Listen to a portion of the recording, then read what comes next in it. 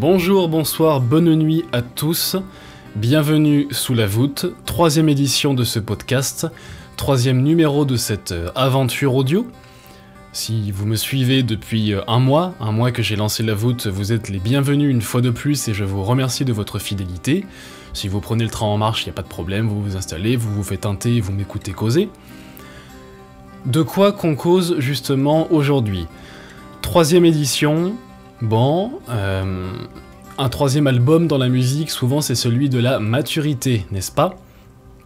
On va essayer de faire une émission peut-être plus aboutie, où je résous pas mal de, de problèmes techniques, de problèmes de, de, fond, peut-être pas assez creusés des émissions d'avant. En les réécoutant, je me suis rendu compte que je pouvais souvent aller plus loin, euh, faire des choses plus travaillées, peut-être un petit peu plus scolaires, académiques en fait, sans sacrifier à l'intérêt bien sûr mais des choses un petit peu plus, euh, ouais, abouties, peut-être abouties. Alors voilà, je vous propose une troisième édition que j'espère plus complète, mieux ficelée. Au programme, trois volumes, trois albums qui m'ont marqué, pas de bouquin cette fois-ci. Je lis pas beaucoup en ce moment, donc on va se contenter de musique. Un gros dossier euh, bien, bien méchant, bien mastoc, qui va nous occuper un bon bout de temps.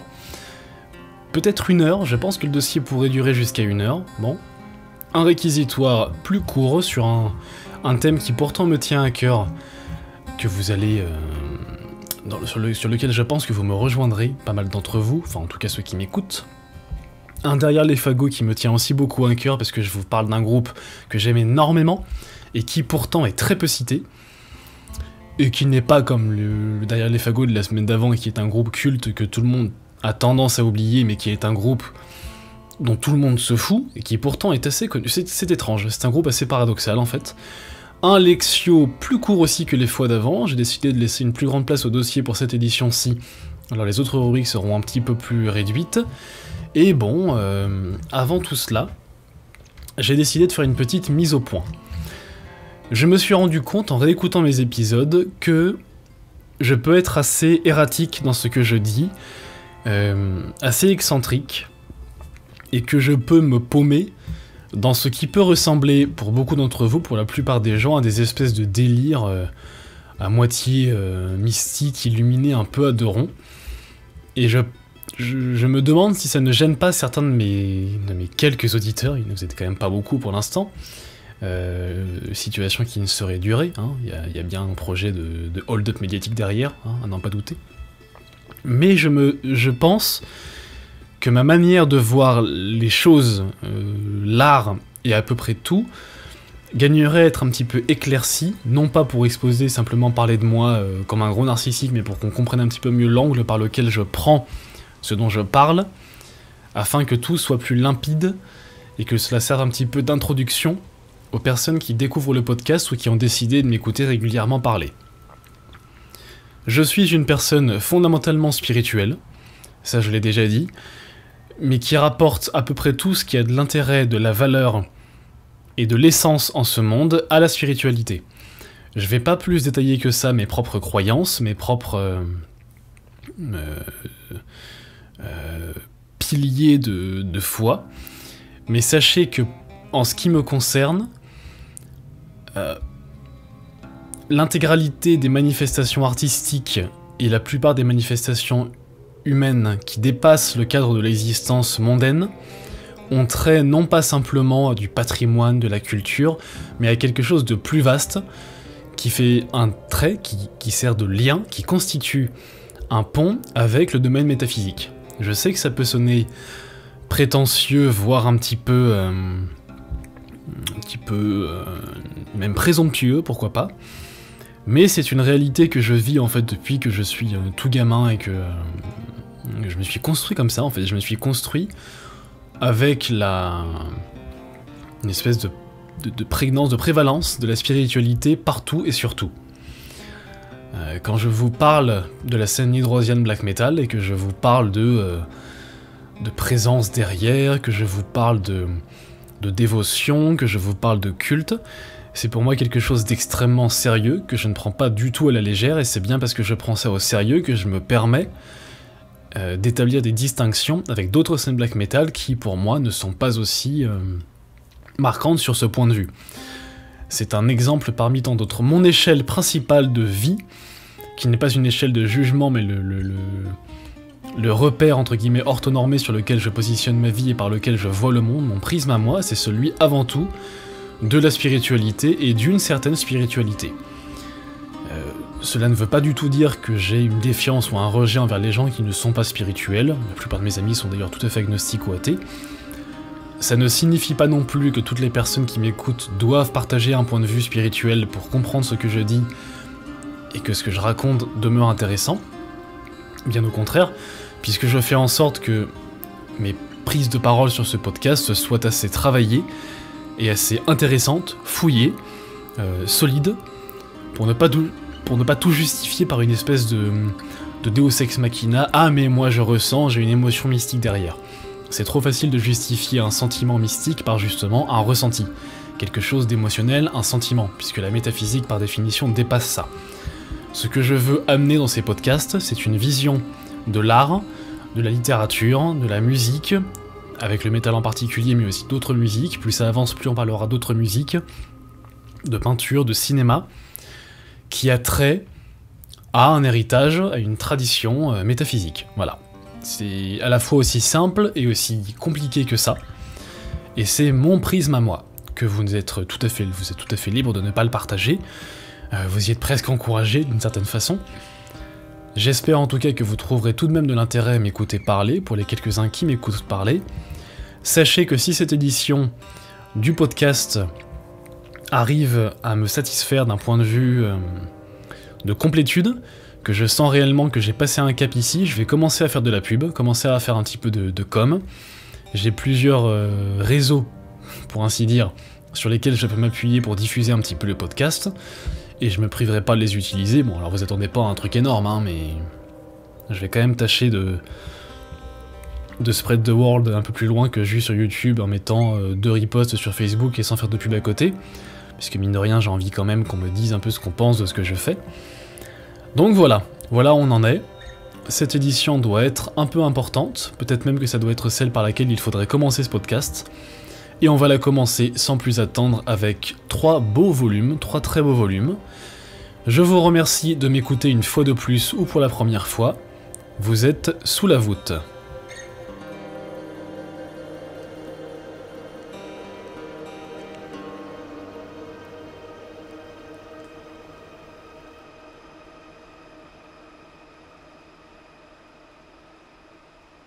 Premier de ces volumes de cette troisième édition, Rune Magic Enter the Realms of Death, sorti en 99.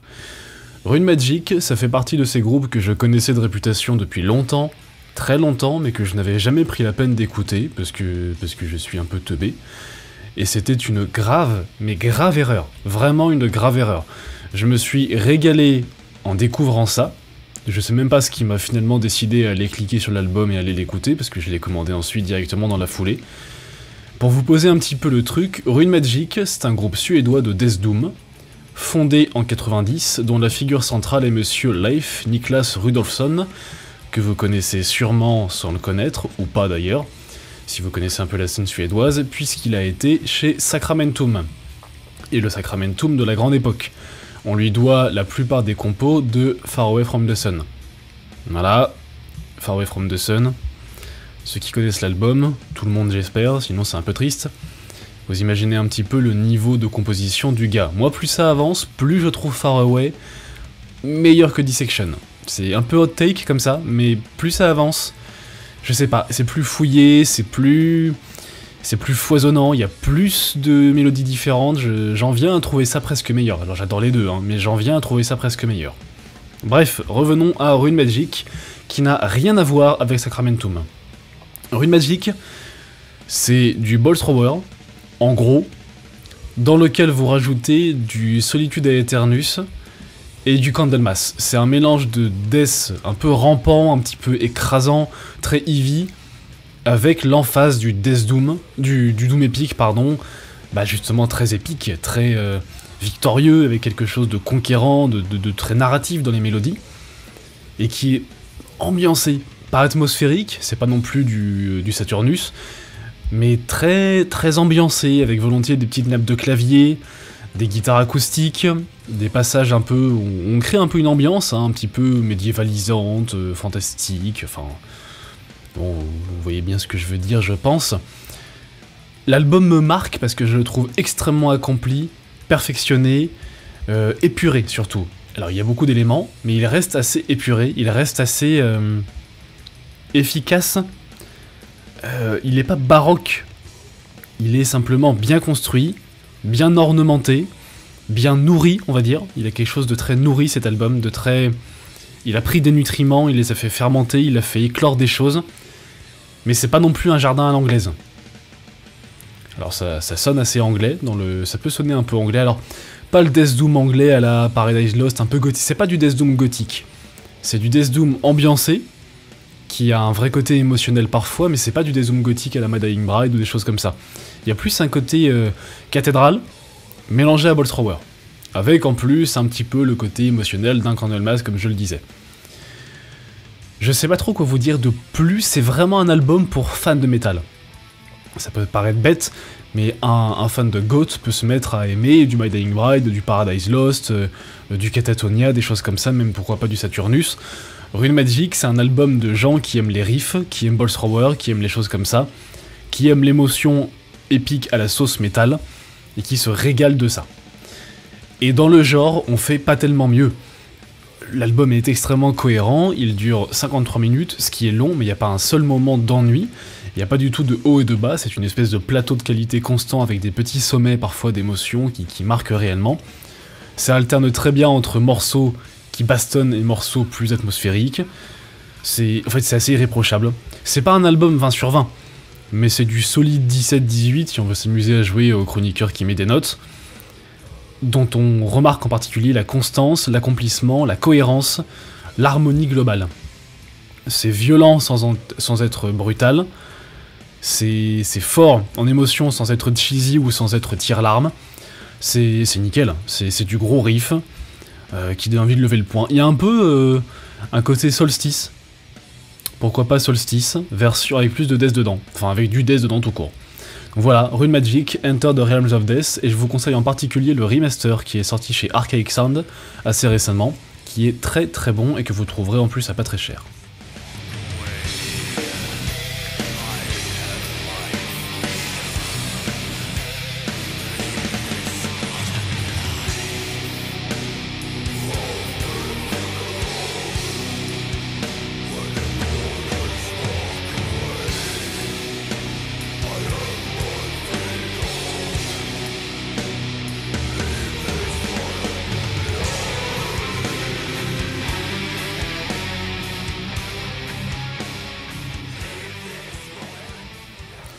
Second volume, Grosamkeit, je sais pas comment ça se prononce, c'est de l'allemand, Nostalgia Occulte Blut. Vous connaissez sûrement une image de Grosamkeit où on voit un black metalleux en corpse paint sur fond tout blanc avec un chapeau de sorcière et une croix inversée. Une image euh, presque un peu d'épinal du black metal mais qui a quelque chose en plus qui hurle drogue à chaque fois qu'on la regarde. Pourtant il n'y a pas de seringue ni de trucs comme ça sur l'image mais on sent l'intoxication on sent les substances qui déconnent, euh, on sent qu'il y a un truc qui foire dans le cerveau du gars. Et ça forcément, bah moi ça me parle, j'aime bien les trucs un petit peu perchés, un petit peu psychédéliques, forcément ça me plaît. Gros MK c'est quoi? C'est un groupe allemand, que je connaissais lui aussi de réputation sans avoir jamais écouté, hein, bravo moi, qui a été fondé par monsieur BSOD, alors il a... On connaît son nom de famille et son prénom, mais on s'en fout, c'est un allemand euh, parmi tant d'autres, on s'en fout, c'est son personnage qui nous intéresse qui est ce qu'on appelle en langage euh, euh, médical un gros taré, qui a de multiples condamnations à son actif pour violence, pour euh, agression, pour même des, du vol et évidemment beaucoup beaucoup de drogue. On l'a même surnommé The Heroin Wizard, je crois. C'est assez rigolo. Ce monsieur a fondé son groupe dans les années 90.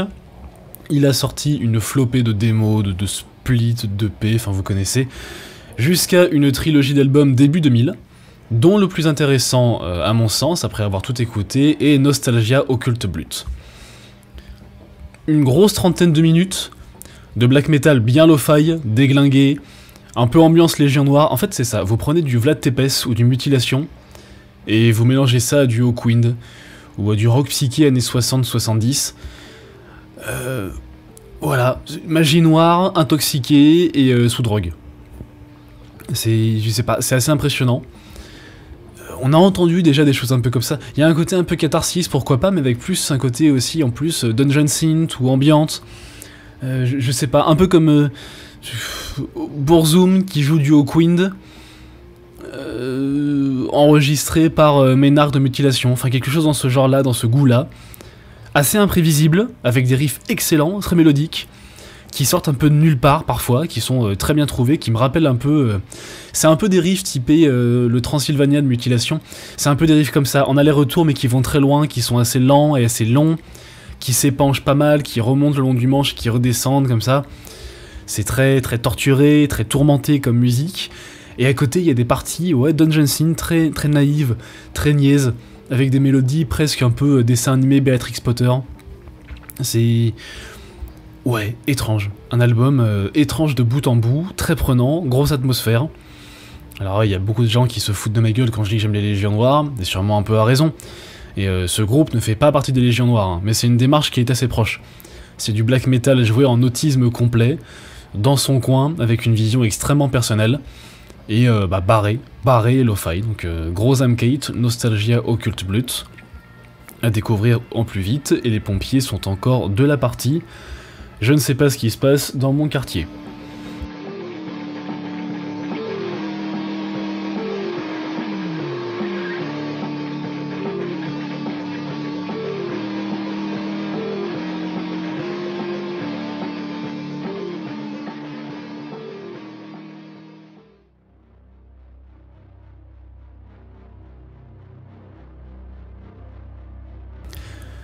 On finit avec le dernier de ces volumes, et là je vais être un peu plus court parce que vous connaissez sûrement le groupe. Dread Sovereign Alchemical Warfare. Dread Sovereign, sorti le 15 janvier 2021, d'ailleurs j'ai oublié de vous dire que Gross M-Kate, l'album était sorti en 2002. Mais Dread Sovereign, 15 janvier 2021, c'est tout frais, c'est tout récent. C'est du Doom, encore une fois, je parle beaucoup de Doom, c'est encore une fois du Doom avec dedans du Heavy, un petit peu de punk, euh, et pas mal de black première vague. Dread Sovereign, c'est le groupe de Alan Averill, monsieur Nemteanga, que vous connaissez de, Primordial, qui est le chanteur de Primordial, qui a décidé qu'il voulait faire du heavy metal. Il voulait faire du heavy à l'ancienne, parce que Primordial, c'est un petit peu euh, son propre genre à lui tout seul. Mais là, Dread Sovereign, c'est une espèce de pot pourri de true metal, de métal traditionnel. Vous prenez en gros des structures doom à la, euh, je sais pas, euh, à la Sabbath, c'est très sabbastien. Vous rajoutez un côté épique un peu à la Grande Magus époque Iron Will quelque chose d'un peu un peu sorcier, un petit peu occulte, un peu Electric Wizard mais loin d'être psychédélique. Et en plus de ça, vous mettez un élan, euh, Black Première Vague, Bathory, Celtic Frost, Elhammer, vous connaissez un peu. Donc on peut avoir des espèces de morceaux très longs, un peu à la cathédrale, avec des riffs qui montent et qui descendent comme ça, très ascensionnels. Et puis à côté, des espèces de brûlots un peu à la, à la Sacrifice de Bathory ou à la... Euh, euh, Countess justement de Venom, des choses comme ça, où, ça fond, ça fait des riffs un peu trash punk bas du front qui vont à toute allure, et où ça grogne les paroles, alors qu'à côté Alan sort parfois des vocalistes qui sont très primordiales, qui montent, qui sont en fatigue, avec beaucoup d'émotions, avec la voix qui a le trémolo, il chante très juste toujours, avec cette voix qui est très belle, très... Euh, qui grogne, qui est un peu mal dégrossi, mais qui a toujours une espèce de justesse en fond. Il y a toujours un côté un petit peu c'est laborieux, mais j'atteins ma note. Il y a toujours ce côté-là.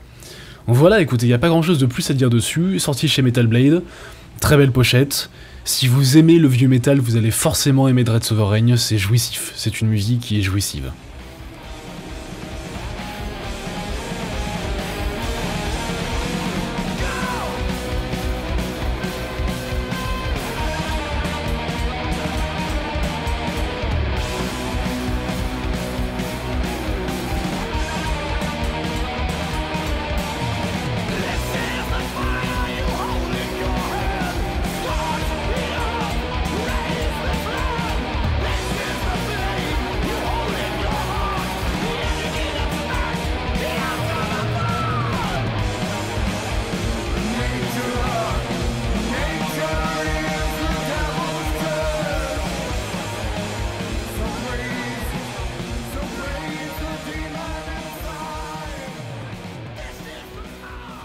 Et c'est parti pour un dossier qui, je le pense, sera assez long.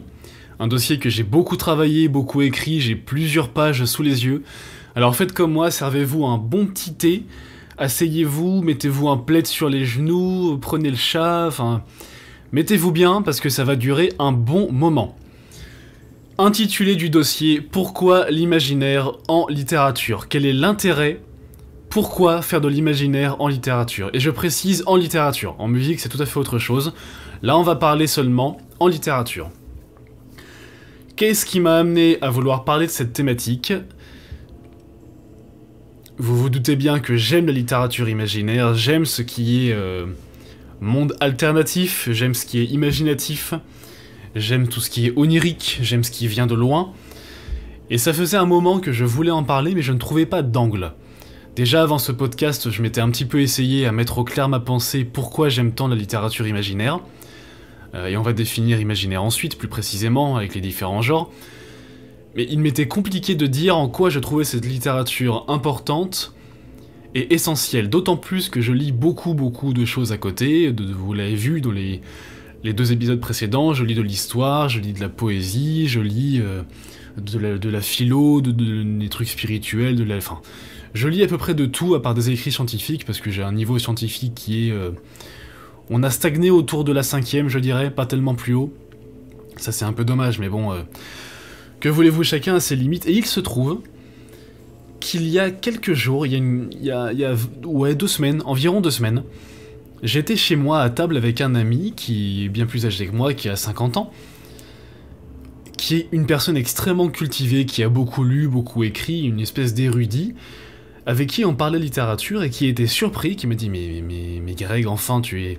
Tu aimes beaucoup lire, euh, tout ça, l'imaginaire c'est quand même un peu naze, c'est un peu bas du front. Et là dans ma tête il s'est passé deux choses. À la fois je me suis dit, il s'est passé même trois choses. Je me suis dit, c'est d'un cliché absolu ce genre de propos, de euh, l'imaginaire c'est un peu bas du front, c'est un peu un truc pour ados, c'est un peu... Euh, c'est un peu la petite porte.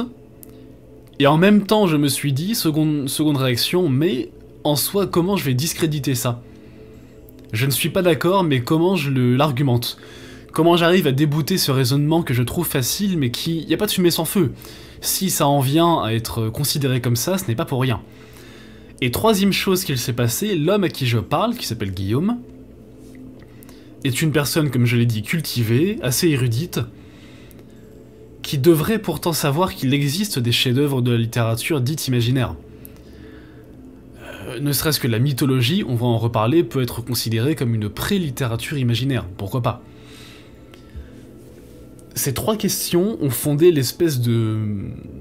point de départ de mon interrogation, et je vais un petit peu vous, euh, vous exposer ce qui en est sorti à force de me graser la tête, j'ai passé beaucoup de temps sur ce papier, j'ai écrit, je suis revenu dessus, j'ai effacé des choses. En fait, j'ai fait un travail assez académique qui est plus ou moins. Alors, ça, je m'en suis rendu compte après. C'est l'avantage d'avoir fait une prépa, c'est qu'on en ressort avec des espèces de de formatage d'esprit. Dès qu'on veut réfléchir sur quelque chose, on fait un plan en trois parties. Alors voilà. J'ai un plan qui est de fait à peu près en trois parties. J'annonce qu'on ne parlera ici pas de SF, ni de dystopie. On va parler du fantastique et de la fantasy, parce que la SF et la dystopie, ce sont deux cas c'est pour moi, on peut faire une rupture assez nette dans la littérature dite imaginaire entre SF dystopie et fantastique fantasy. Et au fil de mon développement, je pense que vous comprendrez pourquoi. Allez, on se lance. On se lance, on attaque, et je vais me servir un petit thé pour me chauffer la gorge. Voilà, il faut sumecter un petit peu, il faut assouplir un petit peu les cordes vocales. On est parti. On lit de la fantasy un peu pour s'évader. Ça fait mal à l'ego, on n'aime pas le dire, mais ça reste un petit peu vrai. Il y a indéniablement une part de nous qui aime ouvrir un bouquin avec sur la couverture des dragons, des épées, des châteaux et des fantômes parce qu'on a envie d'oublier un petit peu le franc prix en bas de chez soi, le boulot, les transports en commun et les impôts. On a envie de penser un petit peu à autre chose. On a envie de faire une coupure, de se sentir exister un petit peu en dehors de tout ça. On ne séparera jamais la pulsion d'évasion de la lecture d'une œuvre de fantasy ou de fantastique. Mais, mais, mais, mais, nuance cruciale, celui qui ne lit de la fantasy ou du fantastique que pour ça, que dans une perspective d'évasion, appauvrit énormément le genre, parce que sa démarche est trop étroite. C'est infiniment dommage de lire du fantastique ou de la fantasy uniquement pour s'évader. C'est dommage, et je dirais même que c'est dangereux d'un point de vue de la considération du genre. Parce que ça fait du bouquin imaginaire une espèce de pis-aller, un pansement, un paravent que l'on met pour ne plus se sentir exister dans son appartement, mais pour se sentir exister dans un château, dans un pays imaginaire. Ça en fait une espèce de rustine, ça en fait une roue de secours, une béquille pour quand on bande mou dans la réalité de tous les jours. Et ça, je trouve ça insupportable et je trouve ça surtout complètement faux. Voir ça comme un shoot comparable à, un camé qui va se mettre un rail pour oublier sa vie, euh, qui le déçoit, je trouve ça infiniment dommage et au fond, je trouve ça assez lâche. J'ai envie de faire une comparaison, si vous connaissez sûrement euh, Suran, l'auteur Suran. Si vous lisez du Suran, si vous, si vous lisez sur les cimes du désespoir, juste pour vous taper un trip de pessimisme, assumé, un petit peu jouissif, un peu facile, euh, très bien écrit, je me roule un petit peu dans la misère et je me roule dans ah là, tout, tout est mauvais, le monde est nul, la vie n'a pas de sens. C'est infiniment triste, et c'est surtout ne pas avoir compris la démarche de Suran qui lui-même disait J'ai passé ma vie à écrire sur le suicide et le désespoir, en passant le reste de ma vie à le déconseiller autour de moi, à mes amis et aux hommes que je croisais. Résumer Suran à euh, En fait, autant mourir parce que la vie est nulle. C'est résumer la fantaisie à Autant aller voir des mondes imaginaires parce que la vie est nulle. Dans les deux cas, c'est extrêmement dommage et c'est ne pas avoir compris réellement ce qu'on lit, je pense. Quoique j'apporterai évidemment une nuance à ça dans le dans mes critiques que j'apporterai à la fantaisie ensuite. D'un point de vue personnel, je trouve malhonnête de nier le côté plaisir qu'on a à lire de la fantaisie. Le plaisir facile de l'imaginaire, il faut admettre qu'il est toujours un petit peu là, il y a un côté comfort food. Vous êtes pas bien, vous avez passé une sale journée, bah vous vous arrêtez à un fast food et vous achetez un gros kebab avec des beignets, ça vous met dans le mal, ça vous met dans le sucre et la graisse, mais sur le coup ça vous fait du bien. En même temps, vous regardez une série nulle, vous regardez Bridget Jones, ça vous retape le moral de manière un petit peu superficielle, mais ça vous aide à passer un moment pas très marrant et après vous repartez d'un meilleur pied. Bon, pourquoi pas? Mais pour autant, est-ce que vous allez résumer la nourriture, la bouffe, et donc la gastronomie à ça? Non. Alors voilà, un petit peu de discernement. La première plus-value pour moi de la fantasy, au-delà donc de ce plaisir dont j'ai parlé, c'est d'opérer un rapport cyclique avec le réel. On se distancie du réel, le premier mouvement c'est un éloignement par rapport à la réalité, mais on trouve dans les nouvelles contrées explorées des éléments qui amènent à reconsidérer le réel avec de nouvelles perspectives, avec quelque chose de nouveau, j'ai envie de dire un regard nouveau mais c'est un peu cliché, et avec peut-être une manière de considérer ce que l'on vit ou ce qui a vécu d'une manière peut-être plus noble, plus globale, plus distanciée et peut-être plus complète. Le double rapport est pour moi absolument nécessaire. C'est ce qui fait tout l'attrait, toute la cohérence, l'importance, la signification et la pertinence du genre imaginaire. Et j'en viens à citer une phrase de, Bilbo, hein, de ce cher Bilbo le Hobbit dans, dans l'œuvre de Tolkien. Bilbo, dans le début de la trilogie du Chien des Anneaux, écrit un livre qui raconte sa propre vie, qui s'appelle Histoire d'un aller et retour. La fantaisie, c'est exactement ça. Ça doit être l'histoire d'un aller et d'un retour. Partant de là, qu'est-ce qui permet d'opérer ce rapport cyclique? L'aller est facile, c'est très facile de se projeter dans un autre monde, ça c'est quelque chose d'assez évident. Pour peu qu'on ait, euh, qu'on ait une ouverture soi-même et un attrait pour l'imaginaire, je connais des gens qui sont absolument hermétiques à ça, euh, mes chères sœurs par exemple, que j'aime de tout mon cœur, euh, ne trouvent absolument aucun intérêt au film ou à la littérature fantaisiste, parce que ce n'est pas réel, elles s'arrêtent à ça, elles ont une espèce de d'imperméabilité, d'hermétisme au, genre imaginaire parce que ce n'est pas le réel. Certaines personnes, malheureusement, et j'en suis désolé pour elles, ne savent pas aller au-delà de ça. Mais pour toute personne qui a un esprit peut-être un petit peu plus malléable, et qui savent au-delà de ça, il est facile de se glisser dans un monde imaginaire, c'est ce qui fait d'ailleurs son côté comfort food. Maintenant, j'ai discerné trois éléments qui permettent de faire le rapport complet, qui permettent d'effectuer le retour en arrière. Le premier de ces éléments, c'est le fait de trouver, le premier de ces points, c'est de trouver dans le monde imaginaire décrit des éléments, des enjeux analogues, correspondants, comparables à ce que l'on trouve dans notre monde à nous, mais mis en place dans un repère différent qui permet un contraste, qui permet une comparaison, qui permet un rapprochement. On sort la tête de notre petit monde à nous pour voir des choses qui y ressemblent beaucoup dans un autre repère, dans une autre réalité alternative, et qui permet peut-être d'avoir plus de... Je je saurais pas comment dire ça, plus de...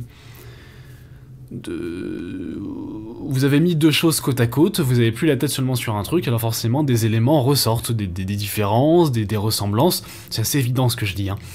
Et c'est tellement évident que c'est un petit peu le béaba, en fait. À tel point qu'on peut facilement tomber sur un simple décalque du monde réel dans un monde imaginaire d'un point de vue cosmétique. Cela signifie, et vous l'avez sûrement, vous êtes peut-être déjà tombé sur des œuvres de ce genre-là, vous ouvrez un bouquin imaginaire, vous tombez simplement sur une reproduction du Moyen Âge européen, avec euh, trois elfes, des nains et un peu de magie qui se baladent. Et c'est très décevant. C'est souvent très décevant. Parce que vous allez retrouver également des villes, des civilisations, du commerce, des guerres, des romances, des haines, des rancunes, des enjeux qui sont en fait très communs.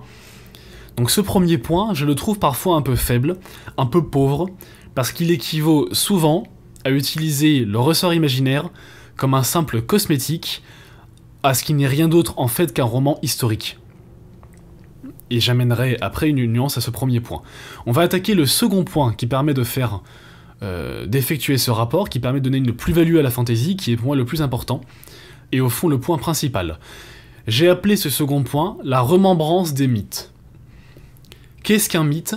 Un mythe, une légende, c'est un récit qui est à mi-chemin entre notre monde concret, de notre réalité, et un univers plus brumeux, celui du folklore, qui est directement relié aux croyances et aux religions. Le folklore grec que vous connaissez bien, euh, même si vous n'êtes pas un pro de la mythologie grecque parce que c'est le plus connu et qu'on baigne dedans, vous allez faire un tour au Louvre, vous êtes en plein en pleine mythologie grecque.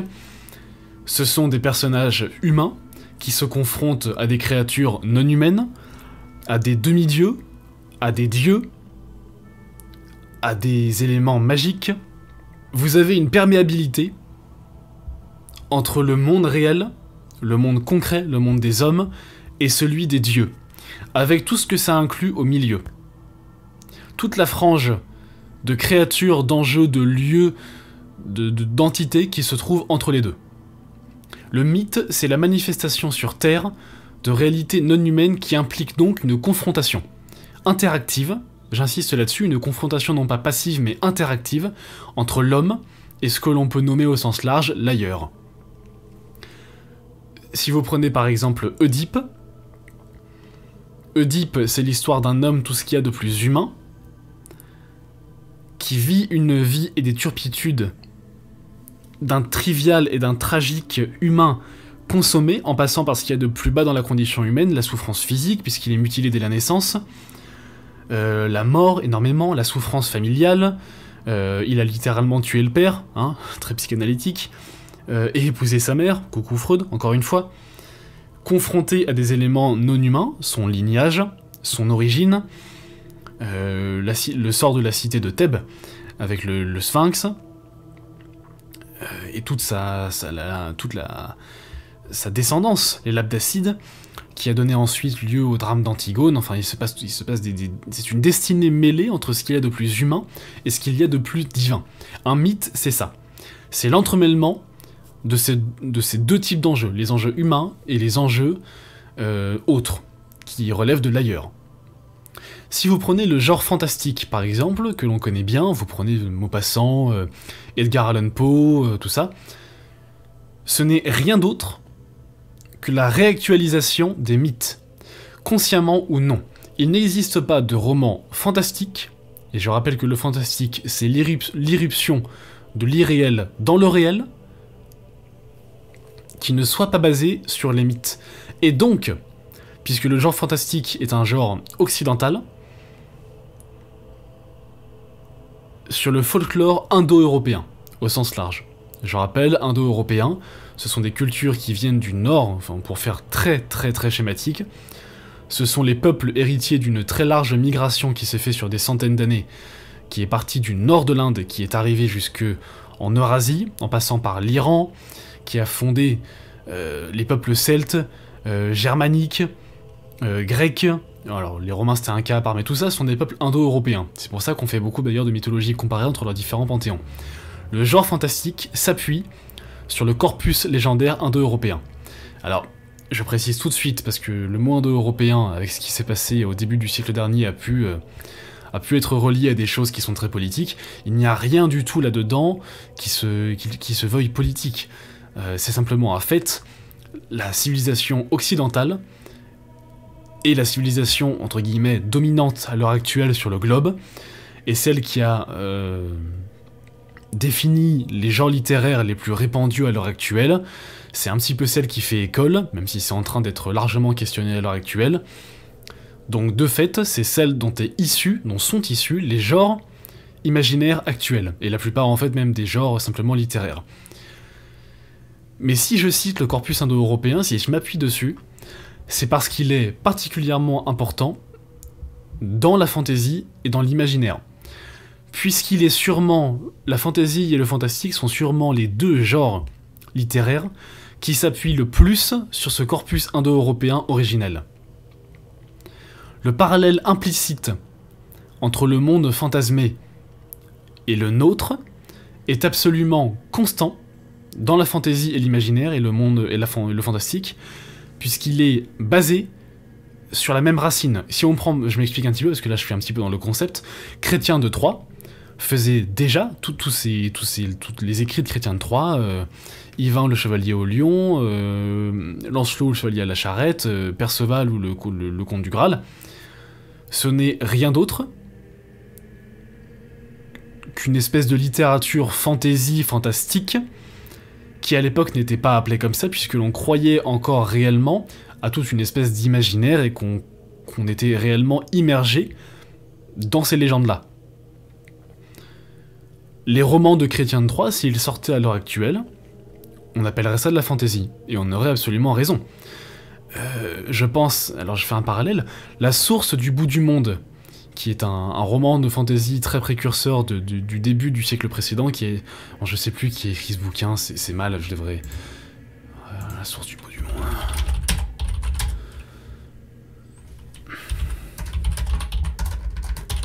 Comment je peux oublier un tel nom, espèce de crétin, va. La source du bout du monde... William Morris, c'est ça, William Morris, La source du bout du monde, qui est, alors si vous lisez La source du bout du monde, en gros, c'est un roman de chevalerie écrit il y a un siècle, un peu plus, où vous trouvez des allusions euh, à Rome, par exemple, vous trouvez des allusions aussi au mythe du Graal, ce n'est rien d'autre qu'un roman de fantasy qui aurait, à part dans sa forme, pu être écrit il y a 4, 5, 6 siècles. C'est un, roman qui aurait pu être une chanson de geste euh, pur de l'ère médiévale. C'est assez impressionnant quand on le lit de voir à quel point c'est proche. Claude Seignol, dont je vous ai déjà parlé, qui est un, immense connaisseur des mythes, peut-être le plus grand érudit d'un point de vue des mythes et des légendes que la Terre ait porté, a basé ses propres romans fantastiques qu'il a écrits en même temps qu'il compilait ses anthologies sur des éléments de folklore rural. Et quand on lit ces romans fantastiques à lui, on réalise à quel point la fiction qu'il a écrite est peu différente, indifférenciée au fond, des légendes qu'il a compilées et qu'il a narrées. Vous prenez La Malvenue, qui est sûrement sa nouvelle fantastique la plus connue et qui est peut-être sa meilleure, ça ne diffère en rien du folklore rural qu'il a passé sa vie à compiler, à tel point qu'on l'aurait mis dans une anthologie, on n'aurait sûrement pas vu la différence, on n'aurait pas dit tiens c'est différent. Les seuls éléments qui différencient un petit peu la malvenue des anthologies de contes de Seignol, c'est peut-être un petit peu la forme et un léger rapport de la, de la littérature gothique. Tout ça pour dire que le fantastique et la fantaisie sont des genres fondamentalement archaïques et presque anachroniques, pas tellement liés en fait à leur époque. Et je, je, reviendrai un petit peu après sur le lien entre la littérature imaginaire et son époque qui est particulièrement important et qui est souvent assez néfaste. Pour résumer un petit peu ce second point qui est pour moi le plus important, la fantaisie a pour objectif, a pour plus-value, pour pertinence, de continuer à faire vivre le corpus de mythes et de légendes indo-européens, mais pas uniquement d'un point de vue d'archives. Et j'ai expliqué un petit peu pourquoi ensuite. J'attaque la troisième raison pour laquelle la fantaisie peut être pertinente pour moi, c'est que l'imaginaire, dans certains cas, et là je pense plus au fantastique qu'à la fantaisie, a la capacité, a eu la capacité, de donner lieu à des œuvres à tel point opposées à notre monde qu'elles peuvent servir à éprouver le réel. Qu'elles peuvent créer une espèce de fracture mentale où on en vient à ne pas comprendre comment une telle œuvre a pu être écrite et qui peut, qui peut être tellement puissante et intense qu'elle en vient à faire douter de notre monde à nous.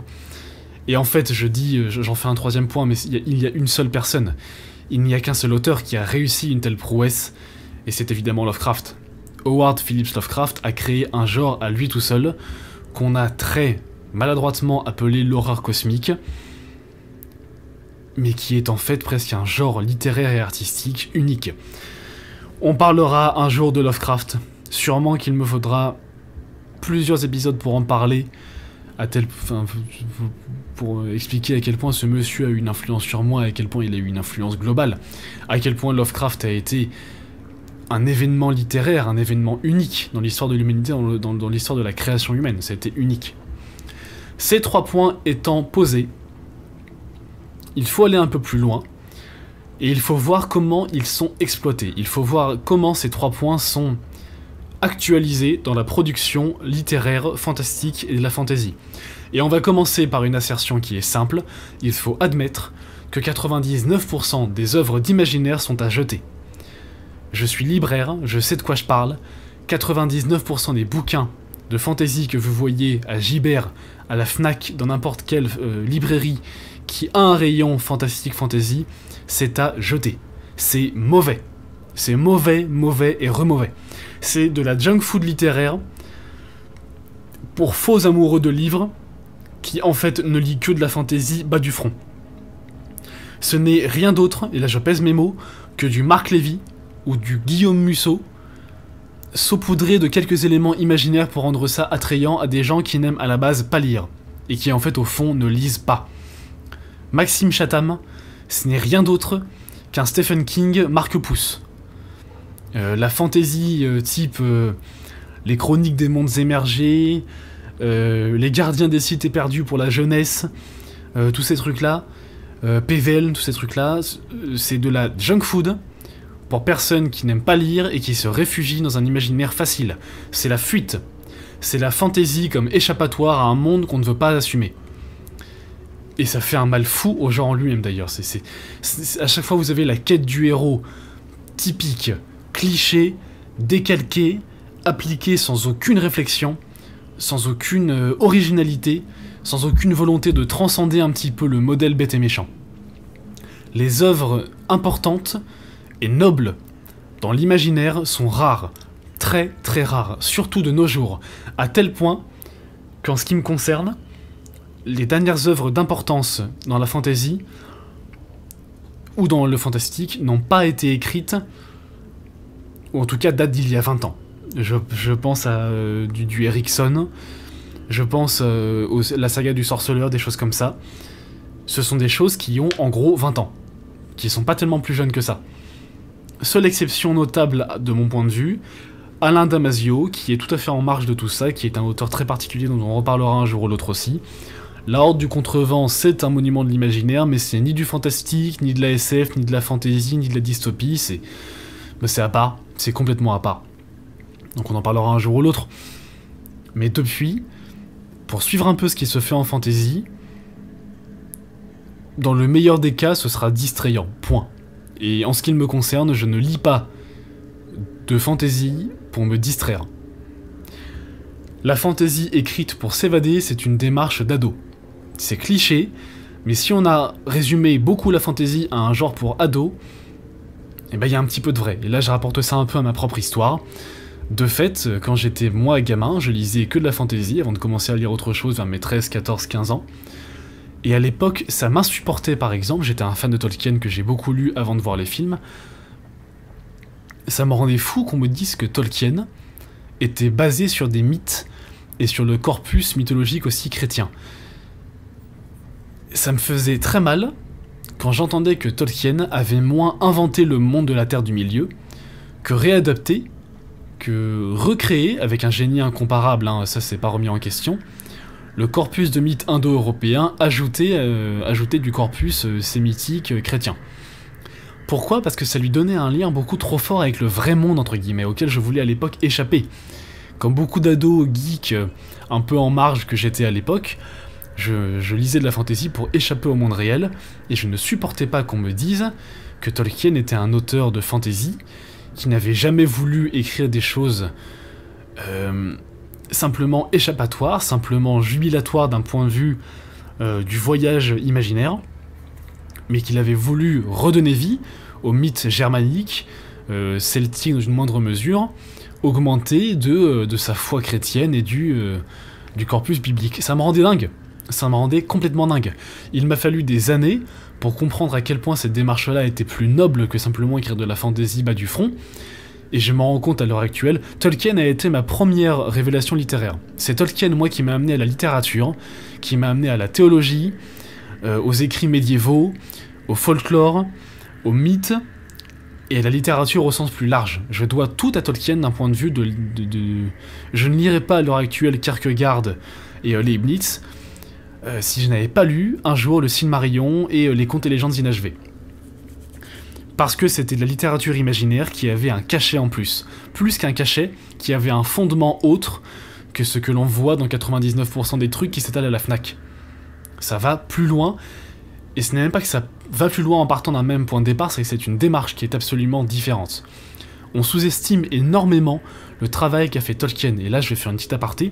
Il y a eu, il y a un an, une exposition à la BNF sur l'œuvre de Tolkien qui avait le mérite immense de ne pas citer une seule fois les films de Jackson, et je l'en remercie. C'est une expo qui a été tellement incroyable que j'y suis allé trois fois, et j'y ai passé à chaque fois des heures et des heures. Et on se rend compte à quel point Tolkien était un érudit, un génie littéraire, et à quel point Le Seigneur des Anneaux, Le Silmarillion et toutes ses œuvres sont, des, sont des, avant tout des travaux, non pas universitaires, mais des travaux de sages, réellement de sages, de quelqu'un qui avait non pas simplement compilé des sources archéologiques et mythologiques, mais qui les avait compris, comprises et qui avait réalisé à quel point c'était important. Et c'est pour ça, à mon avis, qu'on ne dépassera jamais Tolkien d'un point de vue de la fantasy. J'avance un petit peu plus. Le premier des trois éléments que j'ai cités, le fait d'utiliser la fantasy comme euh, contraste avec notre monde, comme point de décalage pour y évoquer des réalités géopolitique, commerciale, euh, très humaine, ce n'est que rarement pertinent de mon point de vue. Très rarement pertinent. Parce que souvent, justement, comme je l'ai dit, ça peut être simplement mettre un masque de fantaisie sur quelque chose de très réel, de très concret. Enfin, vous prenez la guerre du Golfe, vous y ajoutez de la mythologie euh, moyen-orientale, et vous mettez à la place des généraux euh, des chefs de guerre avec des sabres euh, bah, et, des généraux qui se rassemblent comme des sorcières autour d'une messe noire, hein, pour, euh, pour citer Black Sabbath. Vous mettez le cosmétique qu'il faut, vous avez un roman de fantasy typé moyen-oriental. Vous pouvez tout rendre fantasy. Il n'y a pas de prérogative. Il n'y a pas d'éléments structurellement liés à la fantasy, dépendants, intrinsèques à la fantasy, dans le genre qui consiste à décalquer la réalité de notre monde en la mettant dans un contexte de fantasy. Exception notable de la fantasy américaine, qui est largement basée sur ce concept-là, sur euh, ce premier élément, qui est très largement basé sur cette manière de, décrire sa fantasy, et qui a accouché de vraies œuvres grandioses. On en reparlera un peu plus loin. À l'heure actuelle, cette fantasy dite américaine, de mon point de vue, est devenue l'école dominante de la fantasy.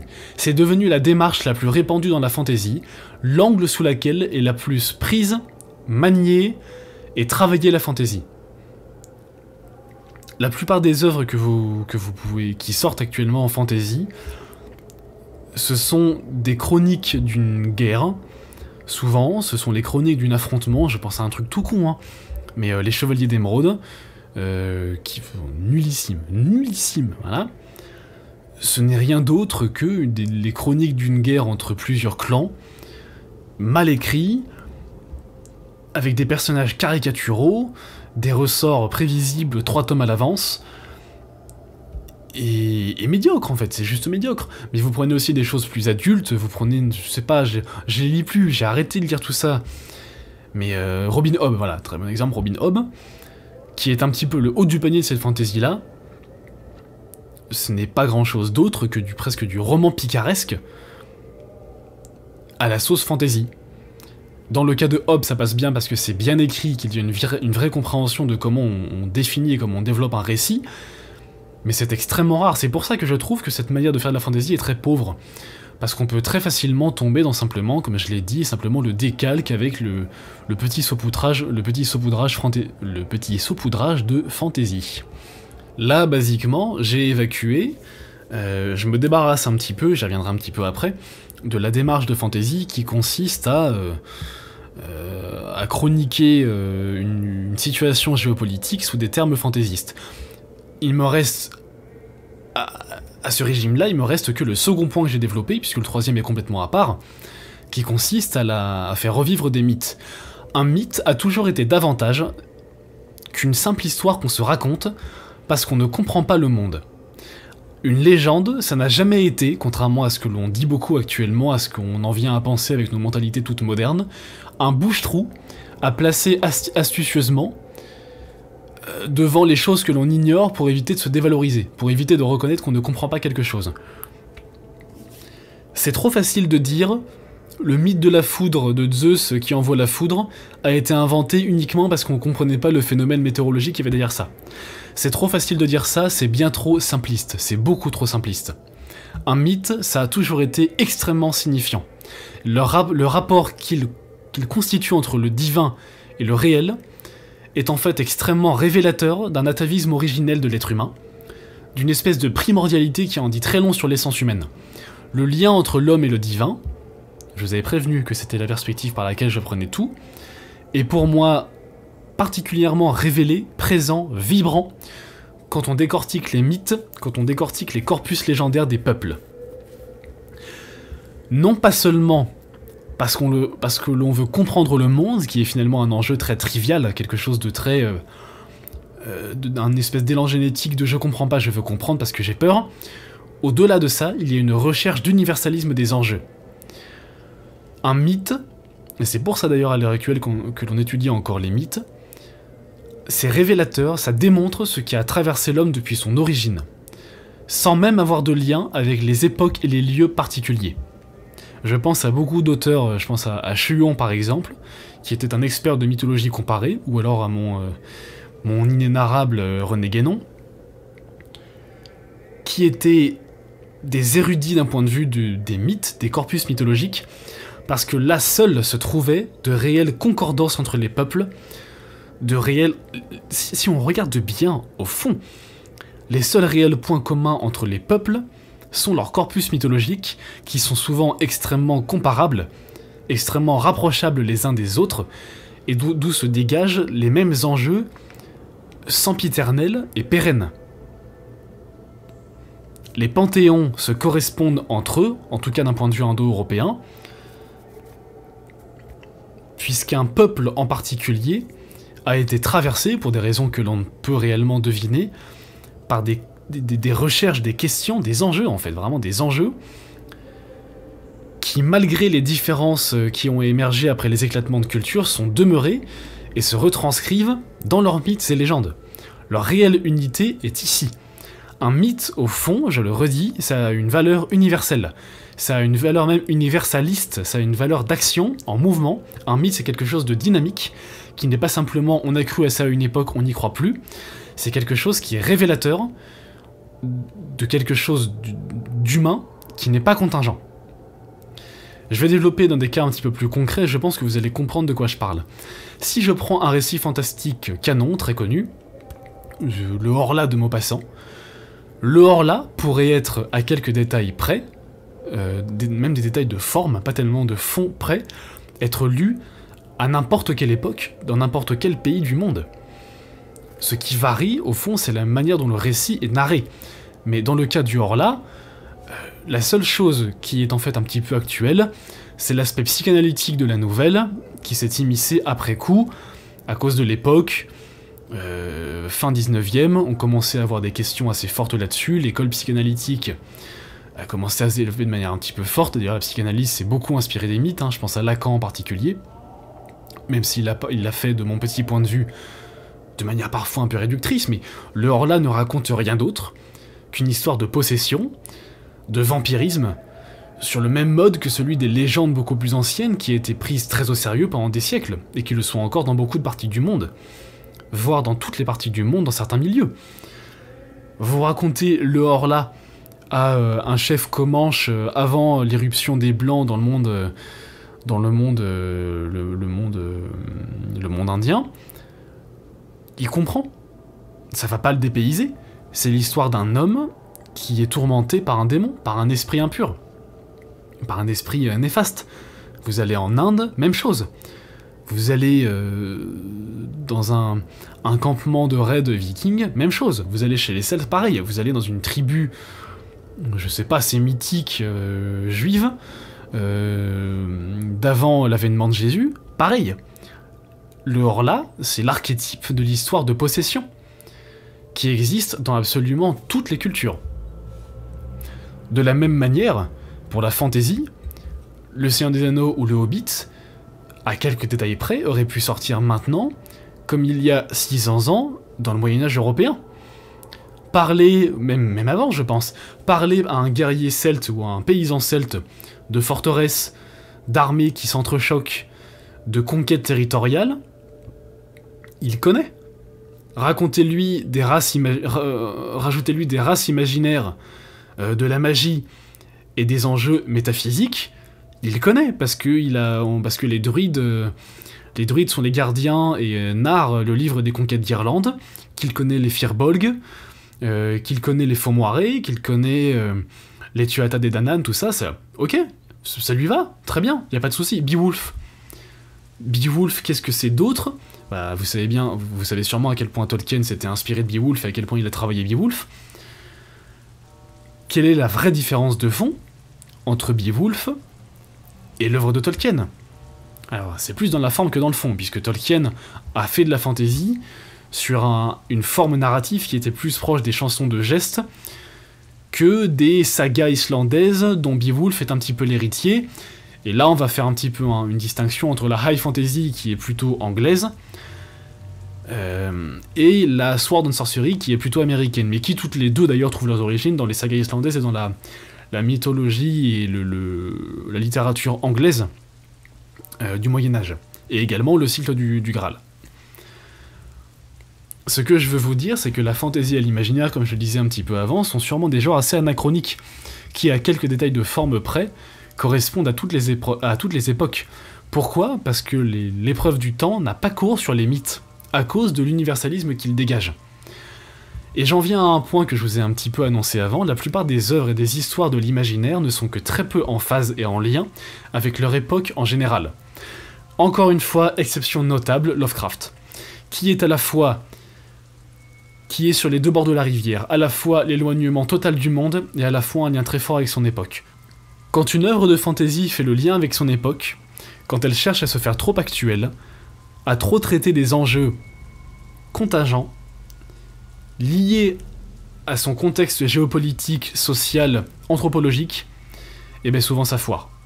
Souvent c'est pas bon, et souvent ça ne peut réellement être lu qu'à une seule époque il faut savoir dépasser ça. La fantaisie n'est pas faite, je pense, au fond, pour traiter de thématiques sociales, puisque c'est trop restreint. C'est trop petit. C'est trop lié à une époque, c'est trop contingent. Elle peut traiter de problèmes sociaux, mais non pas de problèmes sociaux typiques liés à une époque. Je sais pas, vous n'allez pas faire de la fantaisie, par exemple, sur le thème de la drogue. Je ne pense pas que ça marcherait. Alors sûrement qu'il y a des contre-exemples, hein. Mais à titre personnel, je pense que ça ne marcherait pas, et je pense que c'est contraire au fond avec la démarche de la fantaisie. Je voudrais faire une petite digression, euh, parce que je vais reparler un petit peu du lien de la fantaisie avec l'époque moderne après à travers un autre enjeu, mais je voudrais faire une petite digression sur la, poésie. L'imaginaire se prête évidemment très bien à la poésie, hein, ça c'est quelque chose d'assez évident, pour la sublimation du monde, euh, l'évocation des merveilles d'au-delà de la matière, l'exaltation. Si vous lisez Verlaine dans ses poèmes saturniens, euh, vous lisez Nuit de Valpurigis classique, vous lisez sur les couchants, des choses comme ça, c'est très proche de Lord Dunsany avec La fille du roi des elfes dans la manière de magnifier les couchers de soleil, les crépuscules, les paysages flamboyants de l'automne, euh, la nature, c'est extrêmement proche de Dunsany, c'est extrêmement proche aussi de Tolkien parfois. la poésie, en particulier française, mais pas que française, parce qu'on va aussi parler d'autres choses, mais du 19e, en particulier celle des poètes maudits, des romantiques et des gothiques, et a un lien très fort avec l'imaginaire. Et d'ailleurs, il y a des références très fortes au folklore dans la poésie des poètes maudits moins d'un côté d'un Rimbaud, mais du côté d'un Baudelaire ou d'un Verlaine beaucoup. Et dans le cas de Dunsany, qui est arrivé assez peu de temps après ces gens-là et qui a écrit une des premières œuvres de fantasy qu'on peut appeler réellement fantasy, euh, c'est comme par hasard là aussi très lié au mythe. Dunsany, ce n'est rien d'autre en soi que de traiter une œuvre euh, typique un petit peu chrétien de Troyes, on va dire, euh, chanson de geste, un lait, en fait, il y a un côté lait de Marie de France, ou du dit, euh, de la prose ou des de vers magnifiés sur un ton un peu chanté, un petit peu déclamatoire, un peu musical, qui a trait à la fois à la saga, la saga islandaise, à l'Odyssée d'Homère, ou, ou au Conte du Graal de Perceval, ou Perceval de Conte du Graal. Dunsany, c'est au croisement de tout ça. C'est intéressant de lire Dunsany parce que justement, il y a un côté bouillonnement, magma, de tout ce que deviendra ensuite la fantaisie. Il y a à la fois de la poésie dedans, il y a à la fois du folklore, du mythe, une exaltation de valeurs chevaleresques, tout est là. Dunsany a à peu près tout écrit avant l'heure. Et puisque je parle un petit peu de poésie, Baudelaire est régulièrement euh, fantastique. Il parle de vampires, il parle de revenants, euh, bah, il y a un poème qui s'appelle Le Revenant de Baudelaire, il parle d'un folklore un peu gothique avec les hiboux, tout ça, il parle de Satan, hein, les litanies de Satan. Il parle d'une espèce de d'érotisme euh, euh, fantasmé mythologique avec Lesbos par exemple. Byron, pareil, de, la même manière, Lord Byron, c'est la même chose. Gormenghast, et un jour on parlera d'un. Un jour on fera un épisode sur, sur Mervyn Peake et Gormenghast parce que c'est une œuvre complètement à part, est extrêmement dunseynien et saturnien également, au sens Verlaine, dans sa poésie, dans la manière dont, dont Gormenghast, dans ses descriptions du château et de la campagne qui l'entoure, est très gothique, très, euh, très décadent d'une certaine façon.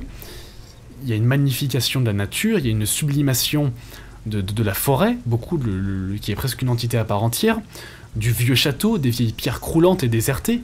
Si vous lisez Dracula de Stoker, pareil, on est sur un monument du gothique, qui d'ailleurs le gothique c'est l'origine du fantastique, euh, tout ça se lie, tout ça est lié, tout ça est parfaitement lié. Melmoth, euh, Les Chants de Mal d'Aurore, euh, Le Moine, tous ces romans gothiques qui sont à l'origine de ce qu'on va appeler ensuite le fantastique, ont un lien très fort avec la poésie et le folklore. Tout ça est réellement lié. Ce qu'on a appelé fantastique et fantasy au XXe siècle n'est rien d'autre que l'enfant accouché d'une espèce d'émulation de bouillonnement global qui a eu lieu dans la seconde partie du 19e siècle, qui a mélangé gothique, reviviscence des mythes sur un, ton un peu romantique, euh, poésie gothique, tout, qui a donné lieu à des genres qui sont actuels, mais qui fondamentalement ne sont pas faits pour être reliés à une époque. Nouvelle petite digression parce qu'il faut le citer, parce qu'il faut en parler, je l'avais un peu annoncé, sur la fantaisie américaine la fantaisie américaine, souvent, est plus acre que la fantaisie anglaise.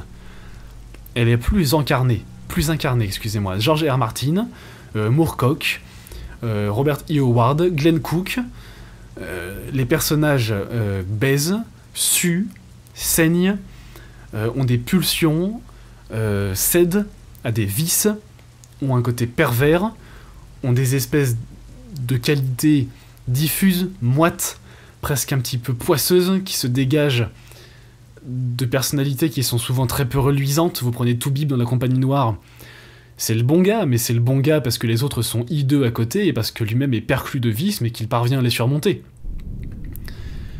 La fantaisie américaine donne lieu à des personnages qui sont bien plus, bien plus proches de nous qu'un Aragorn, par exemple.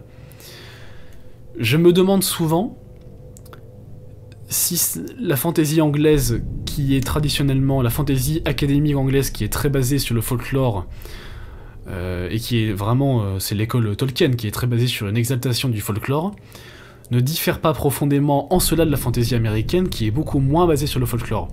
On en revient à ce que je disais tout à l'heure, la fantaisie américaine est bien plus basée sur un côté que j'ai envie d'appeler géopolitique, où on donne lieu à des enjeux de notre monde à nous dans un monde autre.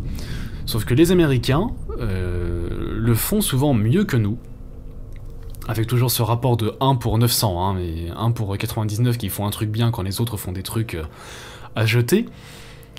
Mais les hauts lieux, les chefs-d'œuvre de la fantaisie américaine, sont souvent sur ce mode du on traite d'enjeux vraiment concrets, géopolitiques, commerciaux, romantiques, euh, histoire d'amour concrète et non pas euh, uniquement idéalisée, idyllique et chronique de guerre, sur un mode imaginaire. Je pense que c'est dû un petit peu au mythe du Far West derrière. Euh, je pense par exemple à Stephen King qui a écrit une, une saga de fantasy qui s'appelle La Tour Noire, qui est extrêmement inspirée du mythe du Far West. Robert E. Howard avec Conan est également très inspiré par le Far West, il vit au Texas d'ailleurs. Mais toute cette espèce d'imaginaire de mythe de l'Ouest extrêmement poussiéreux, avec des personnages très incarnés aussi, ce qu'on peut appeler des bad boys, bad boys. Je parlais hier avec une amie justement qui me disait que la fantaisie américaine, il y avait un côté plus hard boiled, comme on dit. Il y a un côté plus euh, dans son jus, un peu acre.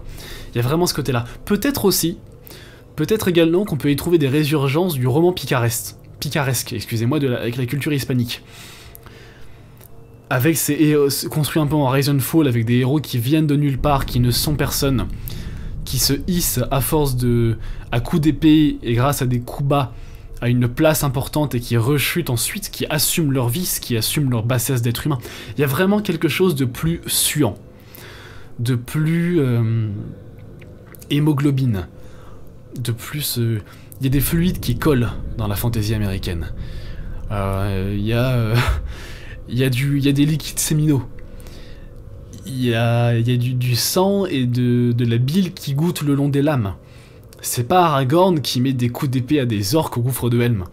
Il y a quelque chose de bien plus euh, âpre, euh, crasseux, et en cela réaliste.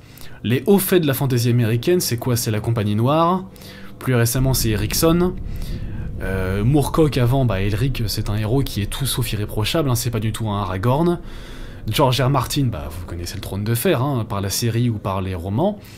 Les personnages sont tous sauf idylliques aussi, d'ailleurs Martin a passé la moitié de sa vie à dire mais non, moi je suis pas du tout un Tolkien. Et on a là pour le coup, je le reconnais, une approche qui est un peu plus sociale peut-être, euh, plus euh, historisante.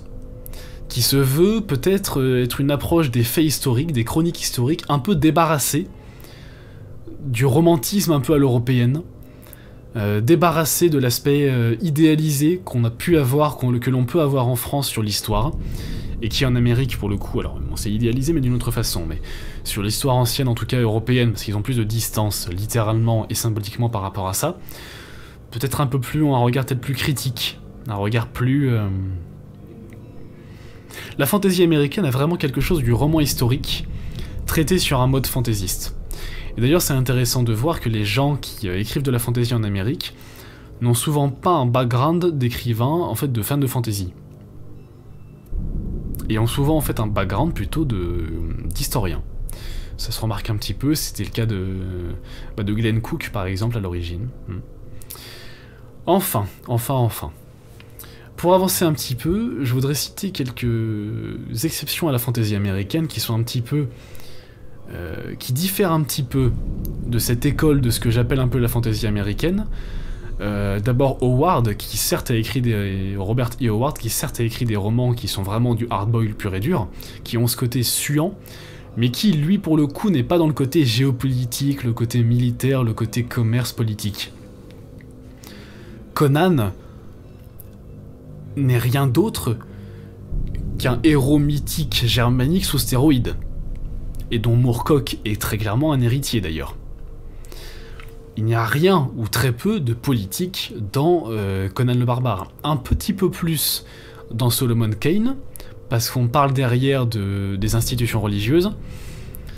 Euh, et d'ailleurs, pour moi, Solomon Kane restera toujours supérieur à, Conan. Mais ça constitue une exception. De toute façon, Howard en lui-même un cas assez, assez à part. Il faisait partie du cercle de Lovecraft également.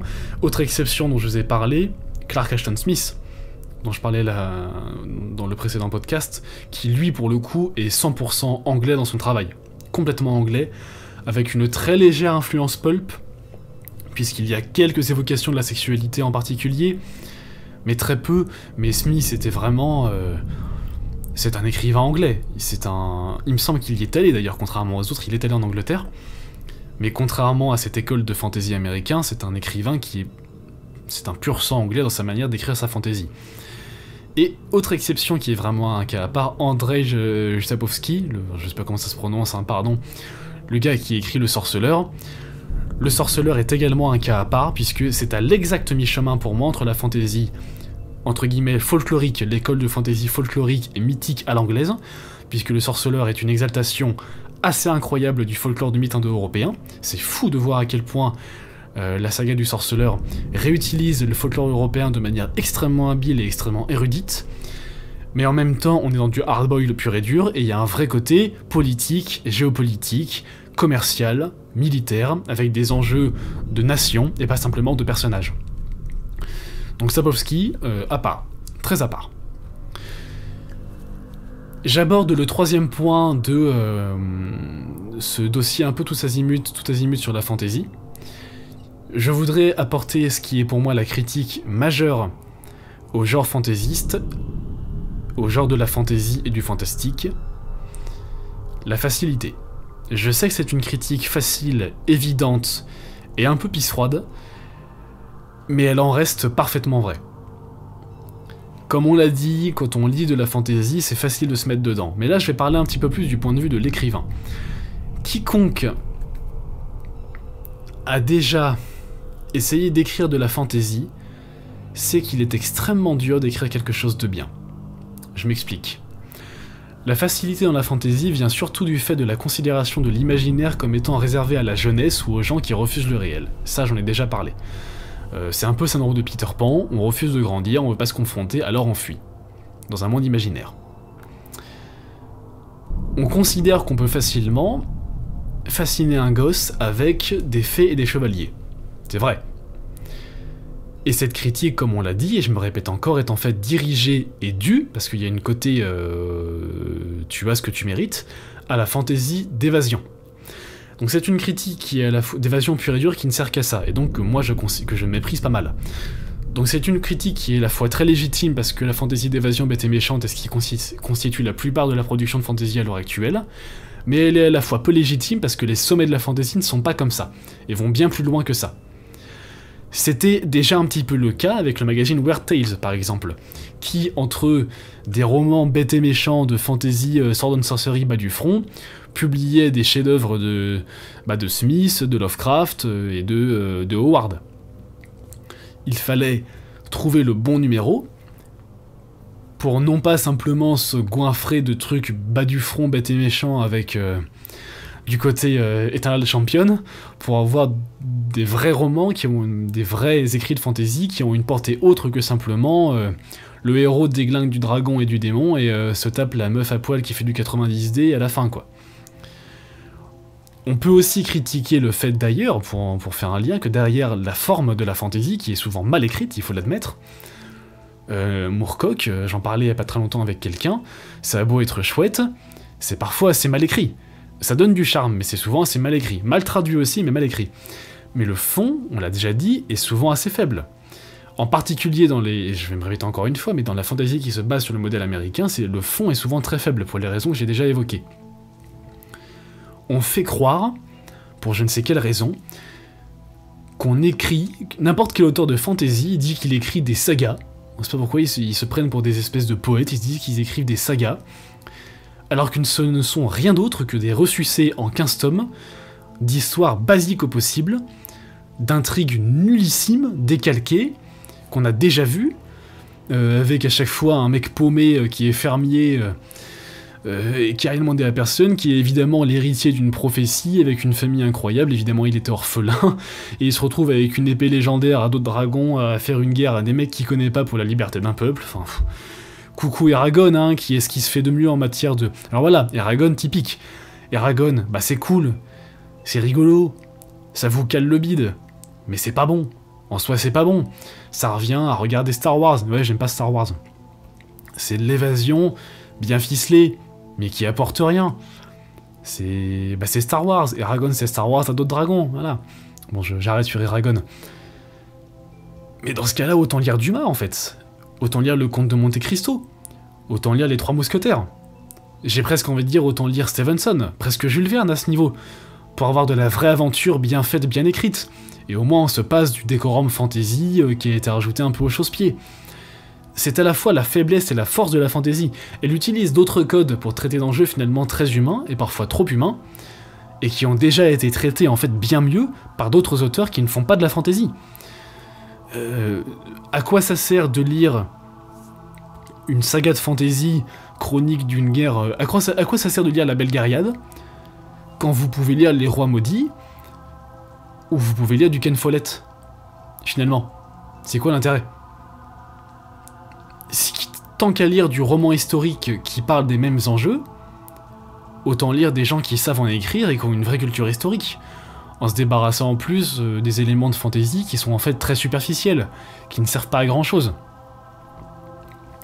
un des soucis principaux là-dedans, c'est que là, et là je vais être très, très prétentieux mais je m'en fous, c'est que l'énorme majorité des auteurs de fantasy n'ont aucune culture, et ne considèrent eux-mêmes pas la fantasy comme autre chose que comme un moyen d'évasion. Ou alors, ils se font eux-mêmes très souvent de fausses idées sur leurs torchons, parce que souvent c'est des torchons, faute de contraste avec d'autres œuvres étant donné qu'ils ne lisent pas. Ils n'ont pas de culture littéraire, ils n'ont été élevés et ils n'ont lu que de la fantaisie, alors forcément ils ont la tête dans le guidon ils ne savent pas ce qu'ils font. Donc ou alors ils assument à 100% le côté euh, j'écris des trucs pour me marrer, bon pourquoi pas, c'est un peu dommage mais pourquoi Enfin, ils font bien ce qu'ils veulent, hein, mais du coup, évite, en partant d'un tel postulat, on ne peut pas arriver à des œuvres très hautes, ou alors ils se font des fausses idées sur ce qu'ils écrivent.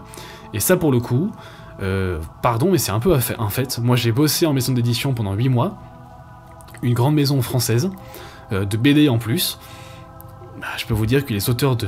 Je vais pas balancer de nom, hein, mais je peux vous dire que les auteurs de BD n'ont aucune culture littéraire. ils font bien ce qu'ils veulent, hein. Mais euh, même les BD qu'on adore, et moi j'aime bien la BD, la BD, ah, pardon de le dire, c'est avant tout de la forme. Il euh, n'y a aucune BD qui m'a réellement marqué sur le fond. moi je suis, j'en ai plein des BD, hein, j'aime beaucoup ça. C'est pas du tout un médium que je méprise. Mais des BD qui ont un fond vraiment fort, je n'en trouve que très peu. Il y a Alan Moore un peu, peut-être. En France, on a Manu Larsenet, qui est excellent et qui ne fait pas de la fantasy. Enfin, si, bon, fantastique. Bref. Mais dans la BD fantastique, je pense particulièrement à l'école Soleil, vous pouvez me citer une seule BD Soleil qui a accouché d'un vrai bon euh, récit de fantasy, une fois qu'on est débarrassé des dessins, parfois des très beaux dessins Bah, il n'y en a pas. Je suis désolé de le dire, il y en a pour ainsi dire pas. Et c'est pareil pour les auteurs de fantasy, pour en avoir rencontré quelques-uns à des salons alors que je tenais des stands, la plupart n'ont aucune culture littéraire. Aucune, mais aucune. Euh, même pas Tolkien, alors que c'est le béaba dans ce qu'ils écrivent. Et quand on vit en monde clos, quand on vit dans un monde sans référentiel, évidemment qu'on ne sait pas ce qu'on fait, qu'on n'a pas de qu'on n'a pas de point de recul. Je sais que je sonne vieux con prétentieux alors que je suis un jeune con prétentieux en fait, hein, pas se tromper. Rebonjour les pompiers. Il euh, y a un mec qui, est mort en boucle, je pense, en bas de chez moi, parce qu'en plus c'est dans ma rue, là. Bref. Présomptueux ou pas, c'est un fait. La fantaisie est un genre, c'est le genre des laissés pour compte et des gens qui ne veulent pas se fouler. Et c'est dommage parce qu'au fond, elle mérite bien mieux que ça.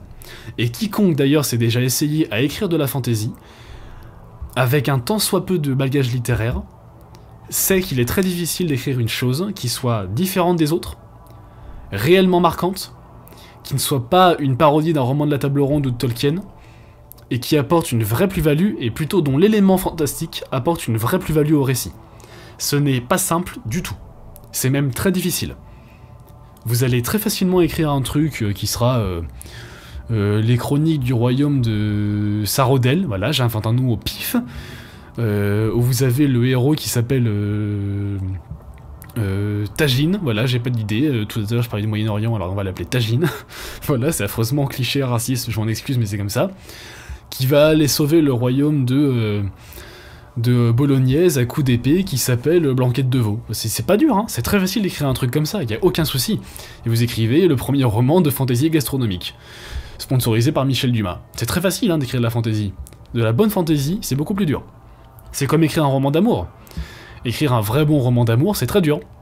Écrire un roman d'amour, c'est très simple. Ça s'appelle être Marc Lévy. Mais écrire un vrai bon roman d'amour, c'est très dur. Le drame du fantastique et de la fantaisie, c'est que depuis quelques années, ils sont devenus très populaires. Euh, bon, euh, les deux euh, éléments qui surnagent dans ce que je dis, c'est évidemment Game of Thrones et la, et la trilogie de Peter Jackson, avec évidemment le Hobbit qui est venu après. Bon alors, parenthèse rapide. La trilogie du Seigneur des Anneaux au cinéma a des défauts, mais elle reste très bonne. Le Hobbit, ça correspond à ouvrir la tombe de Tolkien et à pisser sur ses os. C'est ni plus ni moins que ça.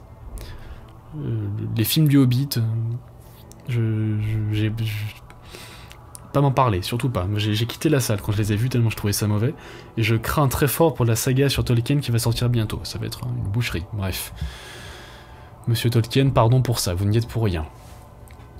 J'en reviens à ce que je disais.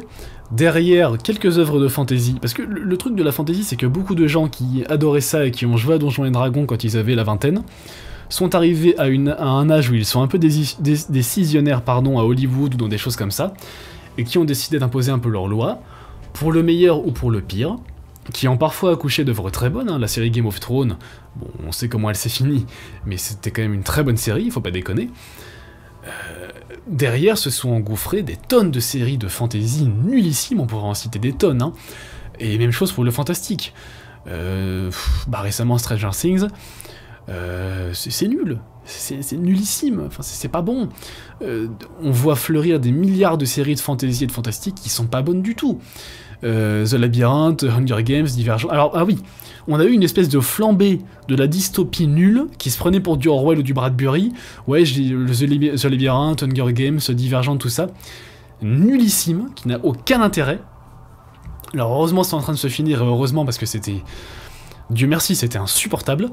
Mais il s'est passé pareil pour le fantastique avec les trucs euh, Lock on the Key, bah Twilight, hein, tout ça qui était pas bon, pas bon du tout. Donc ça fait à peu près 20 ans que les gens imaginaires ont un peu le vent en poupe, je sais pas trop pourquoi. Sûrement parce que justement c'est facile et qu'on a une époque qui encourage beaucoup la facilité et qui essaye de rentrer là-dedans au chausse-pied des, thématiques sociales, de société qui n'ont rien à foutre là. Et ça ne marche pas. Exemple typique, la saga littéraire The Witcher est excellente, c'est une excellente, c'est une des dernières vraies bonnes séries de fantasy. La série Netflix... Oh. Enfin, c'est odieux. C'est odieux de faire un truc comme ça, enfin, avec Jasquier qui est devenu une espèce de Pascal Obispo. Euh, tout est propre, tout est téléphoné, c'est mauvais à en crever. Enfin, ne regardez pas cette série, elle est odieuse. Mais c'est symptomatique. C'est symptomatique. On pense que la fantasy c'est un genre qui est cool, on veut y faire rentrer des trucs beaucoup trop actuels et contingents, et ça en fait, bah ça abaisse encore le niveau et c'est triste. C'est juste triste. Il faut foutre la paix à ces deux genres. Sans déconner, il faut foutre la paix au fantastique et à la fantasy. C'est pas possible. C'est des genres qui ont apporté trop de belles choses, quand on sait chercher, pour que ça soit galvaudé, gaspillé, dispendié comme ça. C'est insupportable. Moi j'attends avec vraiment beaucoup d'impatience que cette espèce de d'engouement pour Vikings, etc., s'arrête, parce que ça fait trop de mal, ça fait beaucoup trop de mal. J'arrive doucement à ma conclusion, et je vais faire le seul lien musical que je m'autorise à faire. J'ai envie de faire une comparaison entre le fantastique et la fantasy avec le black metal. C'est très facile en apparence, et c'est très facile d'en faire, avec une démarche légère. N'importe qui peut faire du black metal, n'importe qui peut écrire de la fantasy. En revanche, c'est bien plus dur si on prend ça réellement au sérieux et qu'on a une culture pour comparer ce qu'on fait à ce qu'ont fait les autres, à ce qui est réellement bon, et pour faire naître une critique de son propre travail. Ça nécessite de se débarrasser des milliers de productions insignifiantes pour trouver les perles. Et évidemment, ça sous-entend, ça nécessite une forme d'élitisme qui est appliquée avant tout à soi-même. De ne pas céder à la facilité, de ne jamais créer pour créer, et de donner lieu à des œuvres qui sont signifiantes. Et ça, ça passe par écrire, effacer, réécrire, changer, modifier, recommencer à zéro, de l'exigence et de l'astreinte. Tout bêtement. Des choses qui ne sont plus à la mode du tout, mais c'est comme ça. Quand on fait quelque chose qui peut très facilement être mauvais, il faut avoir encore plus d'exigence que pour le reste. La fantaisie nécessite peut-être encore plus d'esprit critique que le reste de la littérature, justement parce qu'elle peut très facilement être médiocre. La littérature imaginaire doit être un voyage initiatique, une fuite. Elle doit déboucher sur des choses nouvelles. De la réflexion, de l'évocation, de la poésie, mais elle ne doit jamais être une pure évasion. Elle doit, comme tous les autres arts et comme tous les autres genres littéraires, viser à un anoblissement de sa propre nature via le mérite, l'astreinte et une forme de transcendance de son propre art. La fuite gratuite dans les mondes alternatifs, c'est tout sauf noble, c'est tout sauf respectable. Le faire de temps en temps parce qu'on a envie de se détendre, pourquoi pas, mais résumer l'imaginaire à ça, c'est appauvrir et tuer à petit feu un genre, et c'est ce qui se passe actuellement. Vous voyez sûrement le black metal atmosphérique. Vous voyez forcément le black metal atmosphérique, crétin. C'est un genre qui aime beaucoup les mondes imaginaires. Mais derrière les nappes de clavier affolantes, un petit peu facile, le BM Atmo, c'est souvent très vide. Et là, je pense par exemple à un groupe comme Sojourner. Euh, bon, euh, Dwarf pareil. Derrière les claviers sympathiques, il y a souvent pas grand chose. Sauf quand on arrive à exploiter les spécificités du médium, comme le fait un summoning par exemple, ou un Caladan Brood. Et là, on tombe sur un truc incroyable. Même si la fantasy et le fantastique, je l'approche très différemment que l'on soit dans la musique ou dans la littérature, le résultat est très comparable.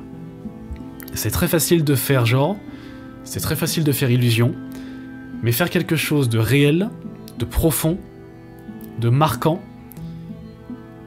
dans lequel la fantaisie, le fantastique, ce qui fait l'exception du genre est réellement utile et pertinent, c'est très dur. C'est très très dur, et comme partout, l'exigence recule petit à petit, parce que le monde actuel, occidental, rejette l'astreinte. On a une espèce de maniaquerie, on veut s'exprimer. C'est quelque chose d'extrêmement, de parfaitement moderne. On ne veut plus créer pour l'œuvre en soi, on ne veut plus s'accomplir via l'art ou via la littérature, on veut s'exprimer. Qu'est-ce qu'il y a de plus trivial de ça que ça? Qu'est-ce qu'il y a de plus bas de moins imaginatif, de moins original, de la volonté que la volonté de simplement dire qui on est pour être validé, parce que c'est ça au fond. Je pense que la plupart des gens qui écrivent à l'heure actuelle, et en particulier de la fantaisie, sont un milieu de l'universalisme des enjeux qui traverse les mythes et qui a donné lieu à la fantaisie pour être au contraire dans le microscopique dans l'échelle individuelle, dans l'entonnoir inversé du moi. La simple expression d'un petit tamas de chair avec trois cellules grises qui s'agitent pour donner lieu à des choses qui ont en fait déjà été vues. C'est la culture de la facilité et du qui es-tu pour me juger? En fait, c'est la culture du relativisme. La fantaisie actuelle est une très bonne est un très bon médium de la culture du relativisme. Et comme le black metal, ça laisse une place énorme sur le papier à la facilité. Et c'est dommage. C'est terriblement dommage. Je vais m'arrêter là. Amis amateurs d'univers de imaginaire, lisez de la fantaisie, mais lisez de la vraie bonne fantaisie. Et si par hasard vous en écrivez, soyez un néo-nazi avec vous-même. Ne laissez rien passer surtout si vous comptez publier un jour ou l'autre, et je vous y encourage. Relisez 30 fois vos œuvres, passez 10 ans sur un manuscrit, j'exagère pas, 10 hein, ans ça peut, très bien se faire, c'est ce qui m'arrive à moi, sur un manuscrit s'il le faut. Ne laissez rien passer. si vous aimez réellement ce genre, nous avons le devoir de ne laisser passer que des choses excellentes. Pas juste bonnes, excellentes. Parce qu'il faut compenser, il faut se relever les manches et compenser ce que font l'océan de baltringues qui ne prennent pas ça au sérieux ou qui n'ont simplement pas la culture nécessaire ou l'astreinte nécessaire pour prendre ce qu'ils font au sérieux.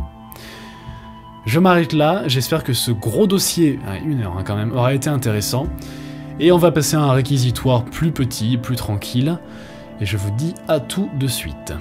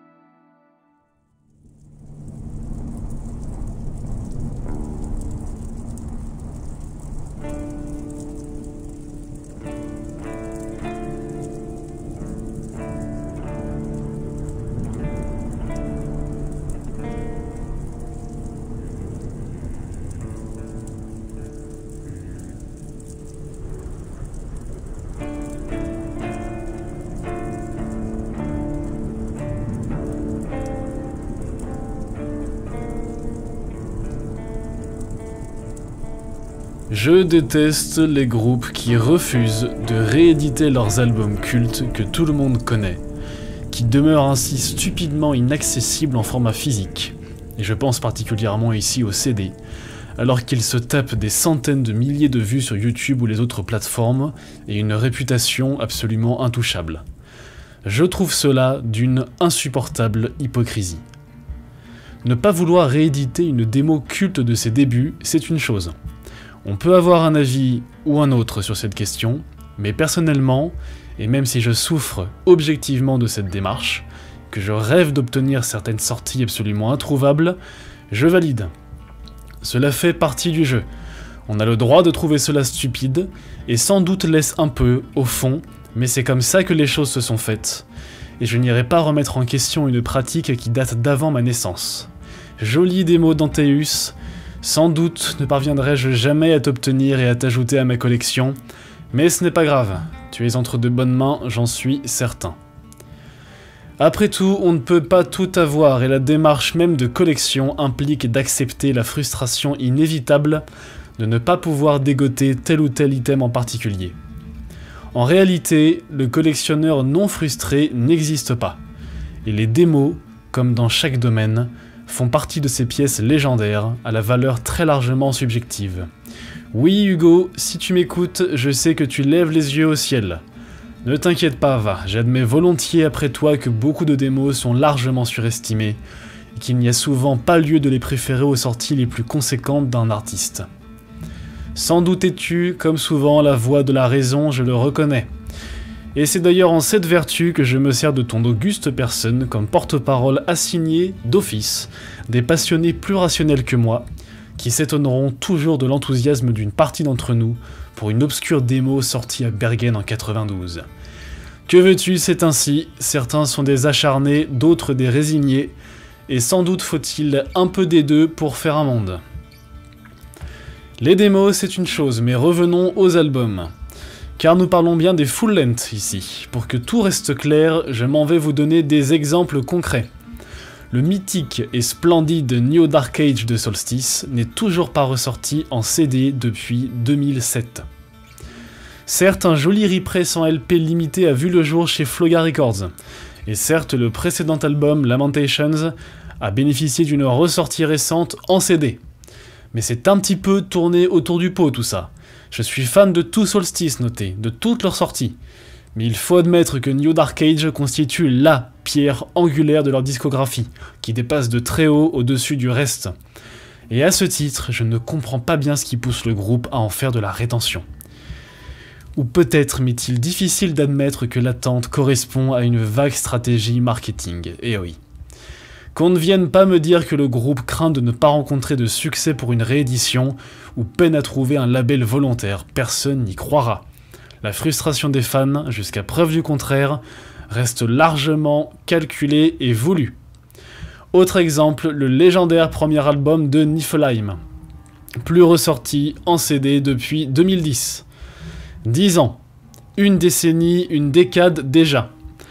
Certes, l'album se trouve pour une vingtaine d'euros sur Discogs, mais le problème reste le même, on ne devrait pas devoir acheter d'occasion le CD d'un album culte, d'un groupe lui aussi culte et toujours en activité qui plus est, au prix d'un LP neuf, et même d'un LP de grande qualité, voire d'un pressage rare. Surtout quand le groupe en question possède une telle aura, et qu'il n'est jamais en dessous de la seconde ligne des affiches des festivals dédiés. Là encore, il s'agit d'une volonté appliquée. Et la chose se révèle d'autant plus évidente dans le cas de Niflheim, qui s'est toujours placé dans l'extrémisme metal underground pur et dur que l'on connaît bien. Et bien sûr qu'on aime ça au fond, qu'on ne sacrifierait cette radicalité pour rien au monde. Mais honnêtement, honnêtement, est-ce que le groupe perdrait un centième de son image et de son aura inébranlable en repressant leur album le plus représentatif? Sans doute pas, évidemment pas. Et dans ce cas précis, ce serait même l'occasion de rendre un bel hommage à John Notvane. Je pourrais continuer longtemps comme ça à vous détailler exemple sur exemple, en citant notamment Abigor et ses premières sorties mythiques, mais vous avez compris l'idée. Cette pratique m'agace d'autant plus que récemment, certains albums réputés introuvables se sont finalement vus gratifiés d'une belle réédition. Enfin, je pense par exemple au terrible Antimoche 001, la première sortie de Deathlike Silence Productions, le furieux The Awakening de Merciless Cosmos a finalement daigné exhumer en 2017. Merci Osmose. Ce n'est encore qu'un exemple parmi d'autres évidemment, mais je trouve ce cas assez parlant. Cet album sur le papier avait tout pour rester à jamais LA pièce rare ultime au vu de son histoire et du contexte de sa sortie. Euronymous, coucou, on pense à toi. Sauf que notre cher Hervé Herbeau d'Osmose a finalement décidé qu'il serait stupide de priver les métalleux les plus dévoués d'une pièce métallique des plus exceptionnelles. Pour passéiste que soit l'underground metal, chose qu'il se doit de rester dans ses grandes lignes selon moi, il n'en demeure pas moins crucial d'accomplir le travail nécessaire pour lui insuffler de la vie, qu'il n'en soit pas réduit à incarner une chose morte et définitivement inerte. Morte encore, c'est une chose, pourquoi pas mais amorphe, certainement pas, non, jamais. Dieu sait que nous aimons les morts qui dansent, n'est-ce pas? Alors autant leur donner un coup de pouce en mettant les premiers coups de bêche qui permettront de déterrer les plus beaux cadavres. Surtout quand on possède à disposition tout le matériel requis. La nécromancie ne va pas se faire toute seule. Vient toujours un moment, un stade où l'extrémisme dans l'underground metal finit par desservir sa propre cause. La radicalité qui le caractérise ne doit pas empêcher les amateurs et les dévots de pouvoir accéder à ce qu'ils recherchent. Qu'il faille passer par des efforts, des recherches, escalader des barrières, pourquoi pas. On peut même voir cela comme une forme de chemin initiatique, de passer matos. Mais au bout du compte, il me semble trop facile de râler parce que les jeunes ardos n'écoutent plus que des groupes insignifiants, tout en empêchant toute une fraîche génération de fanatiques de constituer leur propre sanctuaire métallique, étayé par des perles underground célébrées chez les adeptes les plus ardents. Raison gardée, messieurs cloutés, sachons toujours raison gardée.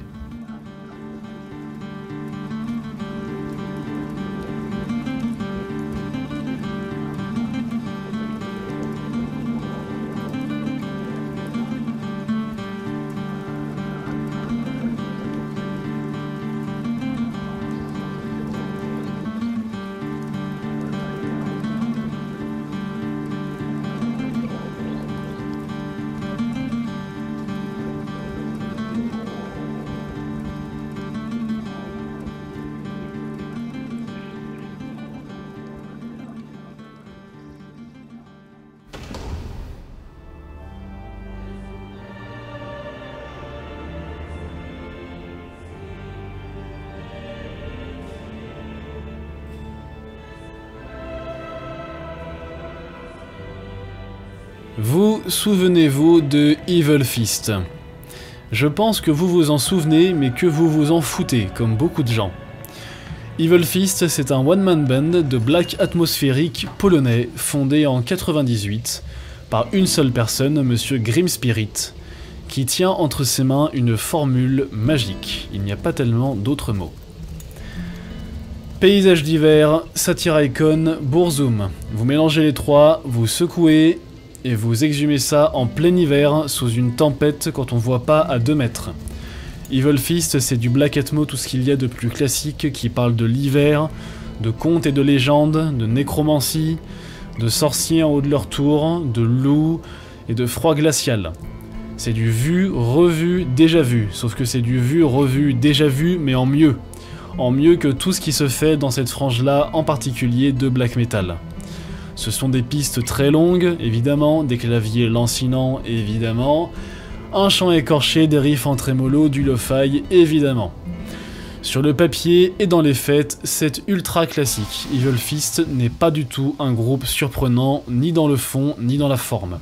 C'est même d'un classicisme total et consommé. Si vous cherchez des choses avant-gardistes, particulièrement surprenantes qui vont agripper l'oreille parce que ça sonne pas comme le reste, vous pouvez d'emblée laisser tomber.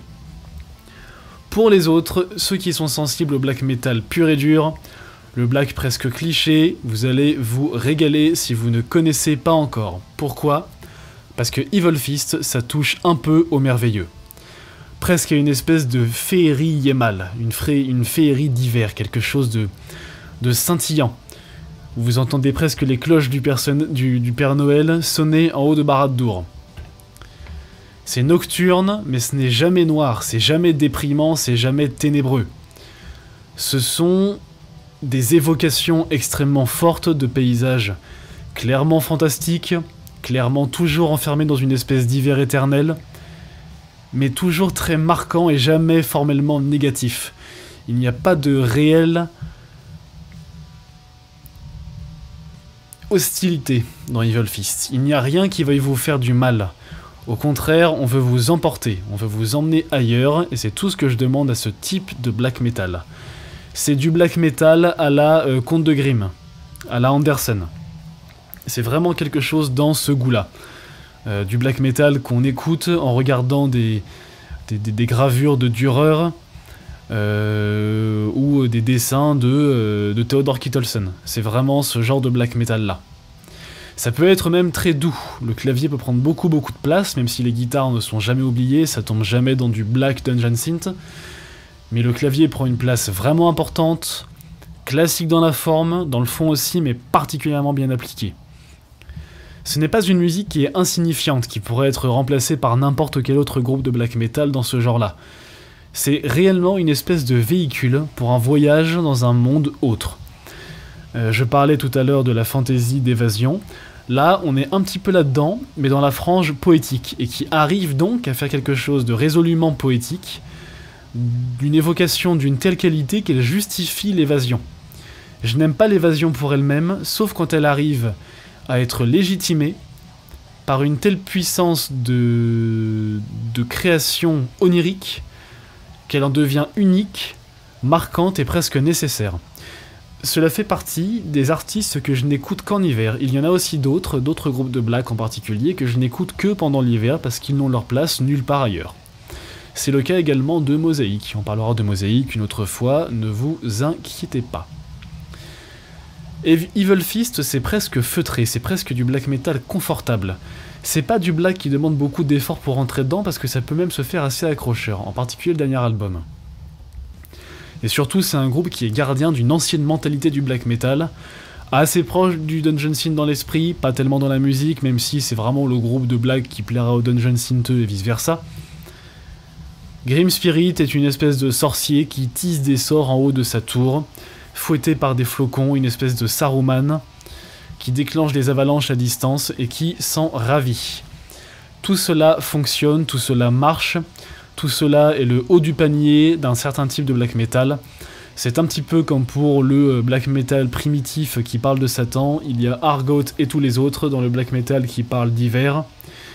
Il y a Evil Fist et tous les autres. Bon, il y a aussi Paysage d'hiver, mais c'est un cas complètement à part, Paysage d'hiver. Je rajoute que, euh, une chose que j'aime particulièrement, on n'a jamais vu Monsieur Grim Spirit autrement que sur ses photos en corpse paint, lo-fi, dans la neige, avec des armes. On n'a jamais vu le réel monsieur derrière Grim Spirit. Il n'y a que Grim Spirit, il n'y a pas monsieur X qui est vendeur de kebab ou qui est agent de banque. C'est simplement monsieur Grim Spirit de Evil Fist et rien d'autre. Et j'aime beaucoup, beaucoup ce genre de choses. On reste dans une diégèse fermée, bien complète, hermétique. On coupe, on n'est plus là. On tourne le dos au monde de tous les jours.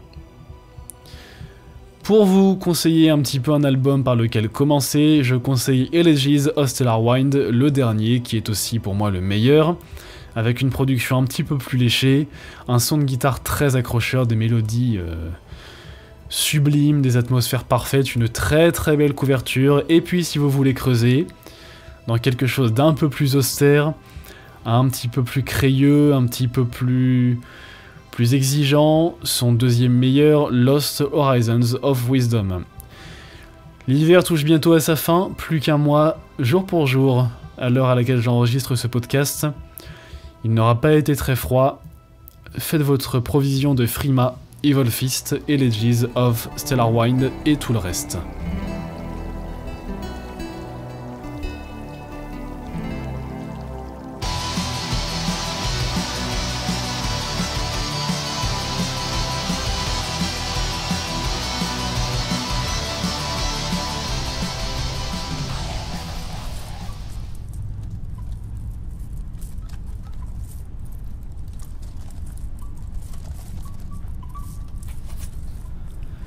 Si l'homme n'avait point de conscience éternelle, si au fond de toute chose il n'y avait qu'une puissance sauvage et bouillonnante, qui tout produit, le grand et le futile, dans le tourbillon de passions obscures, si sous toute chose se cachait un vide sans fond, que rien ne peut combler, que serait alors la vie, sinon la désespérance? S'il en était ainsi, si aucun lien sacré n'unissait les hommes, si les générations se renouvelaient tels les feuillets de ramages sylvestres, s'estompant l'une après l'autre, comme s'éteint dans les bois le chant des oiseaux, si les générations traversaient le monde, tel le navire l'océan ou le vent le désert, acte aveugle et stérile, si l'éternel oubli, famélique toujours, ne trouvait nulle puissance assez forte pour lui attacher la proie qu'elle épie, quelle vanité et quelle désolation serait la vie. Mais il n'en est point ainsi. De même qu'il a créé l'homme et la femme, Dieu a fait le héros, le poète ou l'orateur. Celui-ci ne peut rien accomplir de tout ce que fait celui-là. Il le peut seulement admirer, l'aimer et se réjouir du héros. Il n'est cependant pas moins heureux que l'autre, car le héros est, pour ainsi dire, de son être, la meilleure partie, celle dont il est amoureux.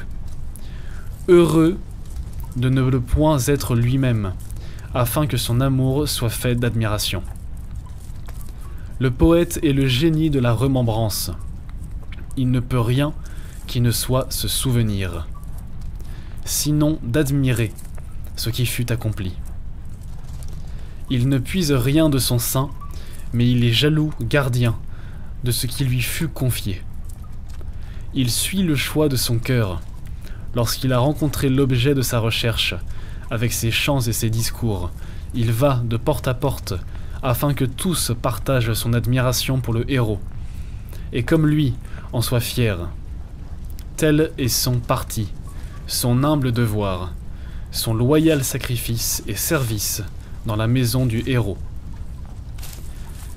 S'il est aussi constant dans son amour, et s'il lutte jour et nuit contre la puissance sournoise de l'oubli dont il veut mettre le héros à couvert, alors qu'il aura rempli sa mission, alors il entre dans la compagnie du héros, qu'il aime d'un amour également fidèle. Car le poète est comme la meilleure partie du héros, sans force tel un souvenir certes, mais transfiguré comme lui. C'est pourquoi nul ne sera oublié parmi ceux qui furent grands. Et s'il faut du temps, si même le nuage de l'incompréhension offusque la figure du héros, celui qui l'aime vient néanmoins.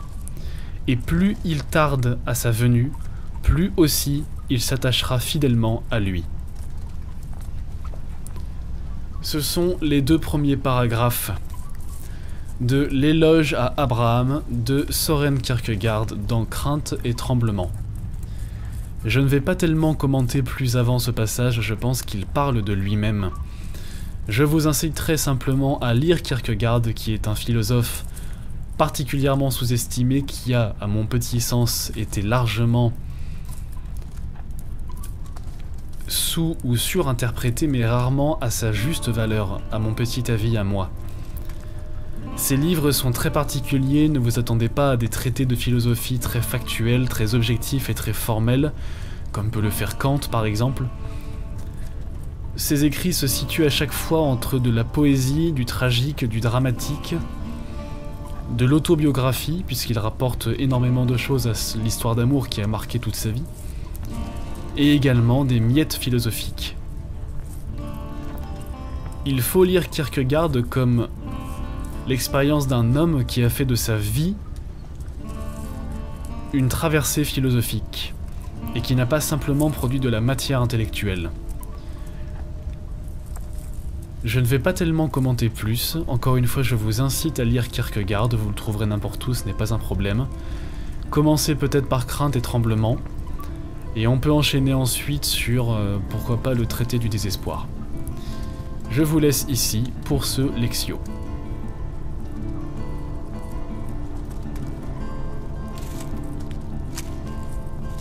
Nous nous arrêtons enfin ici, ça fait à peu près deux heures que je vous cause. Longue, très longue édition, trop longue édition sans doute. Je vous remercie si vous m'avez écouté jusque-là, j'espère que ce que je vous raconte vous intéresse au moins un petit peu, que vous l'écoutez par exemple en faisant la vaisselle, en passant l'aspirateur chez vous dans les transports, c'est un peu comme ça que c'est que je l'envisage, que je vous invite à l'écouter, de manière à occuper des plages de temps où vous n'avez pas grand chose à faire et vous n'avez pas envie forcément d'écouter de la musique. J'annonce que c'est à partir de cette troisième édition que je trouve effectivement, après l'avoir euh, après l'avoir monté, plus réussi que les autres sur la forme comme sur le fond. Je reste satisfait des deux premières éditions. Néanmoins, je pense que celle-ci est encore un cran au-dessus. C'est à partir de ce stade que je vais me mettre à faire de la com et proposer en particulier le podcast euh, pour être diffusé principalement de manière préférentielle sur le plus gros site, le plus gros des deux sites pour lesquels je travaille, pour lequel je suis chroniqueur, à savoir trashocor.com, le meilleur site de chronique, interview, le meilleur site métal de France de très loin. Euh, prenez ça, Hands Up, euh, Scolomance et compagnie, Nightfall aussi pareil, Trasho c'est les meilleurs, c'est nous qu'on est les meilleurs. Et voilà, je m'arrête pour de bon, je vous remercie une fois de plus, je vous souhaite une bonne soirée, une bonne journée, une bonne matinée, une bonne nuit. Je vous dis à bientôt, vous étiez sous la voûte.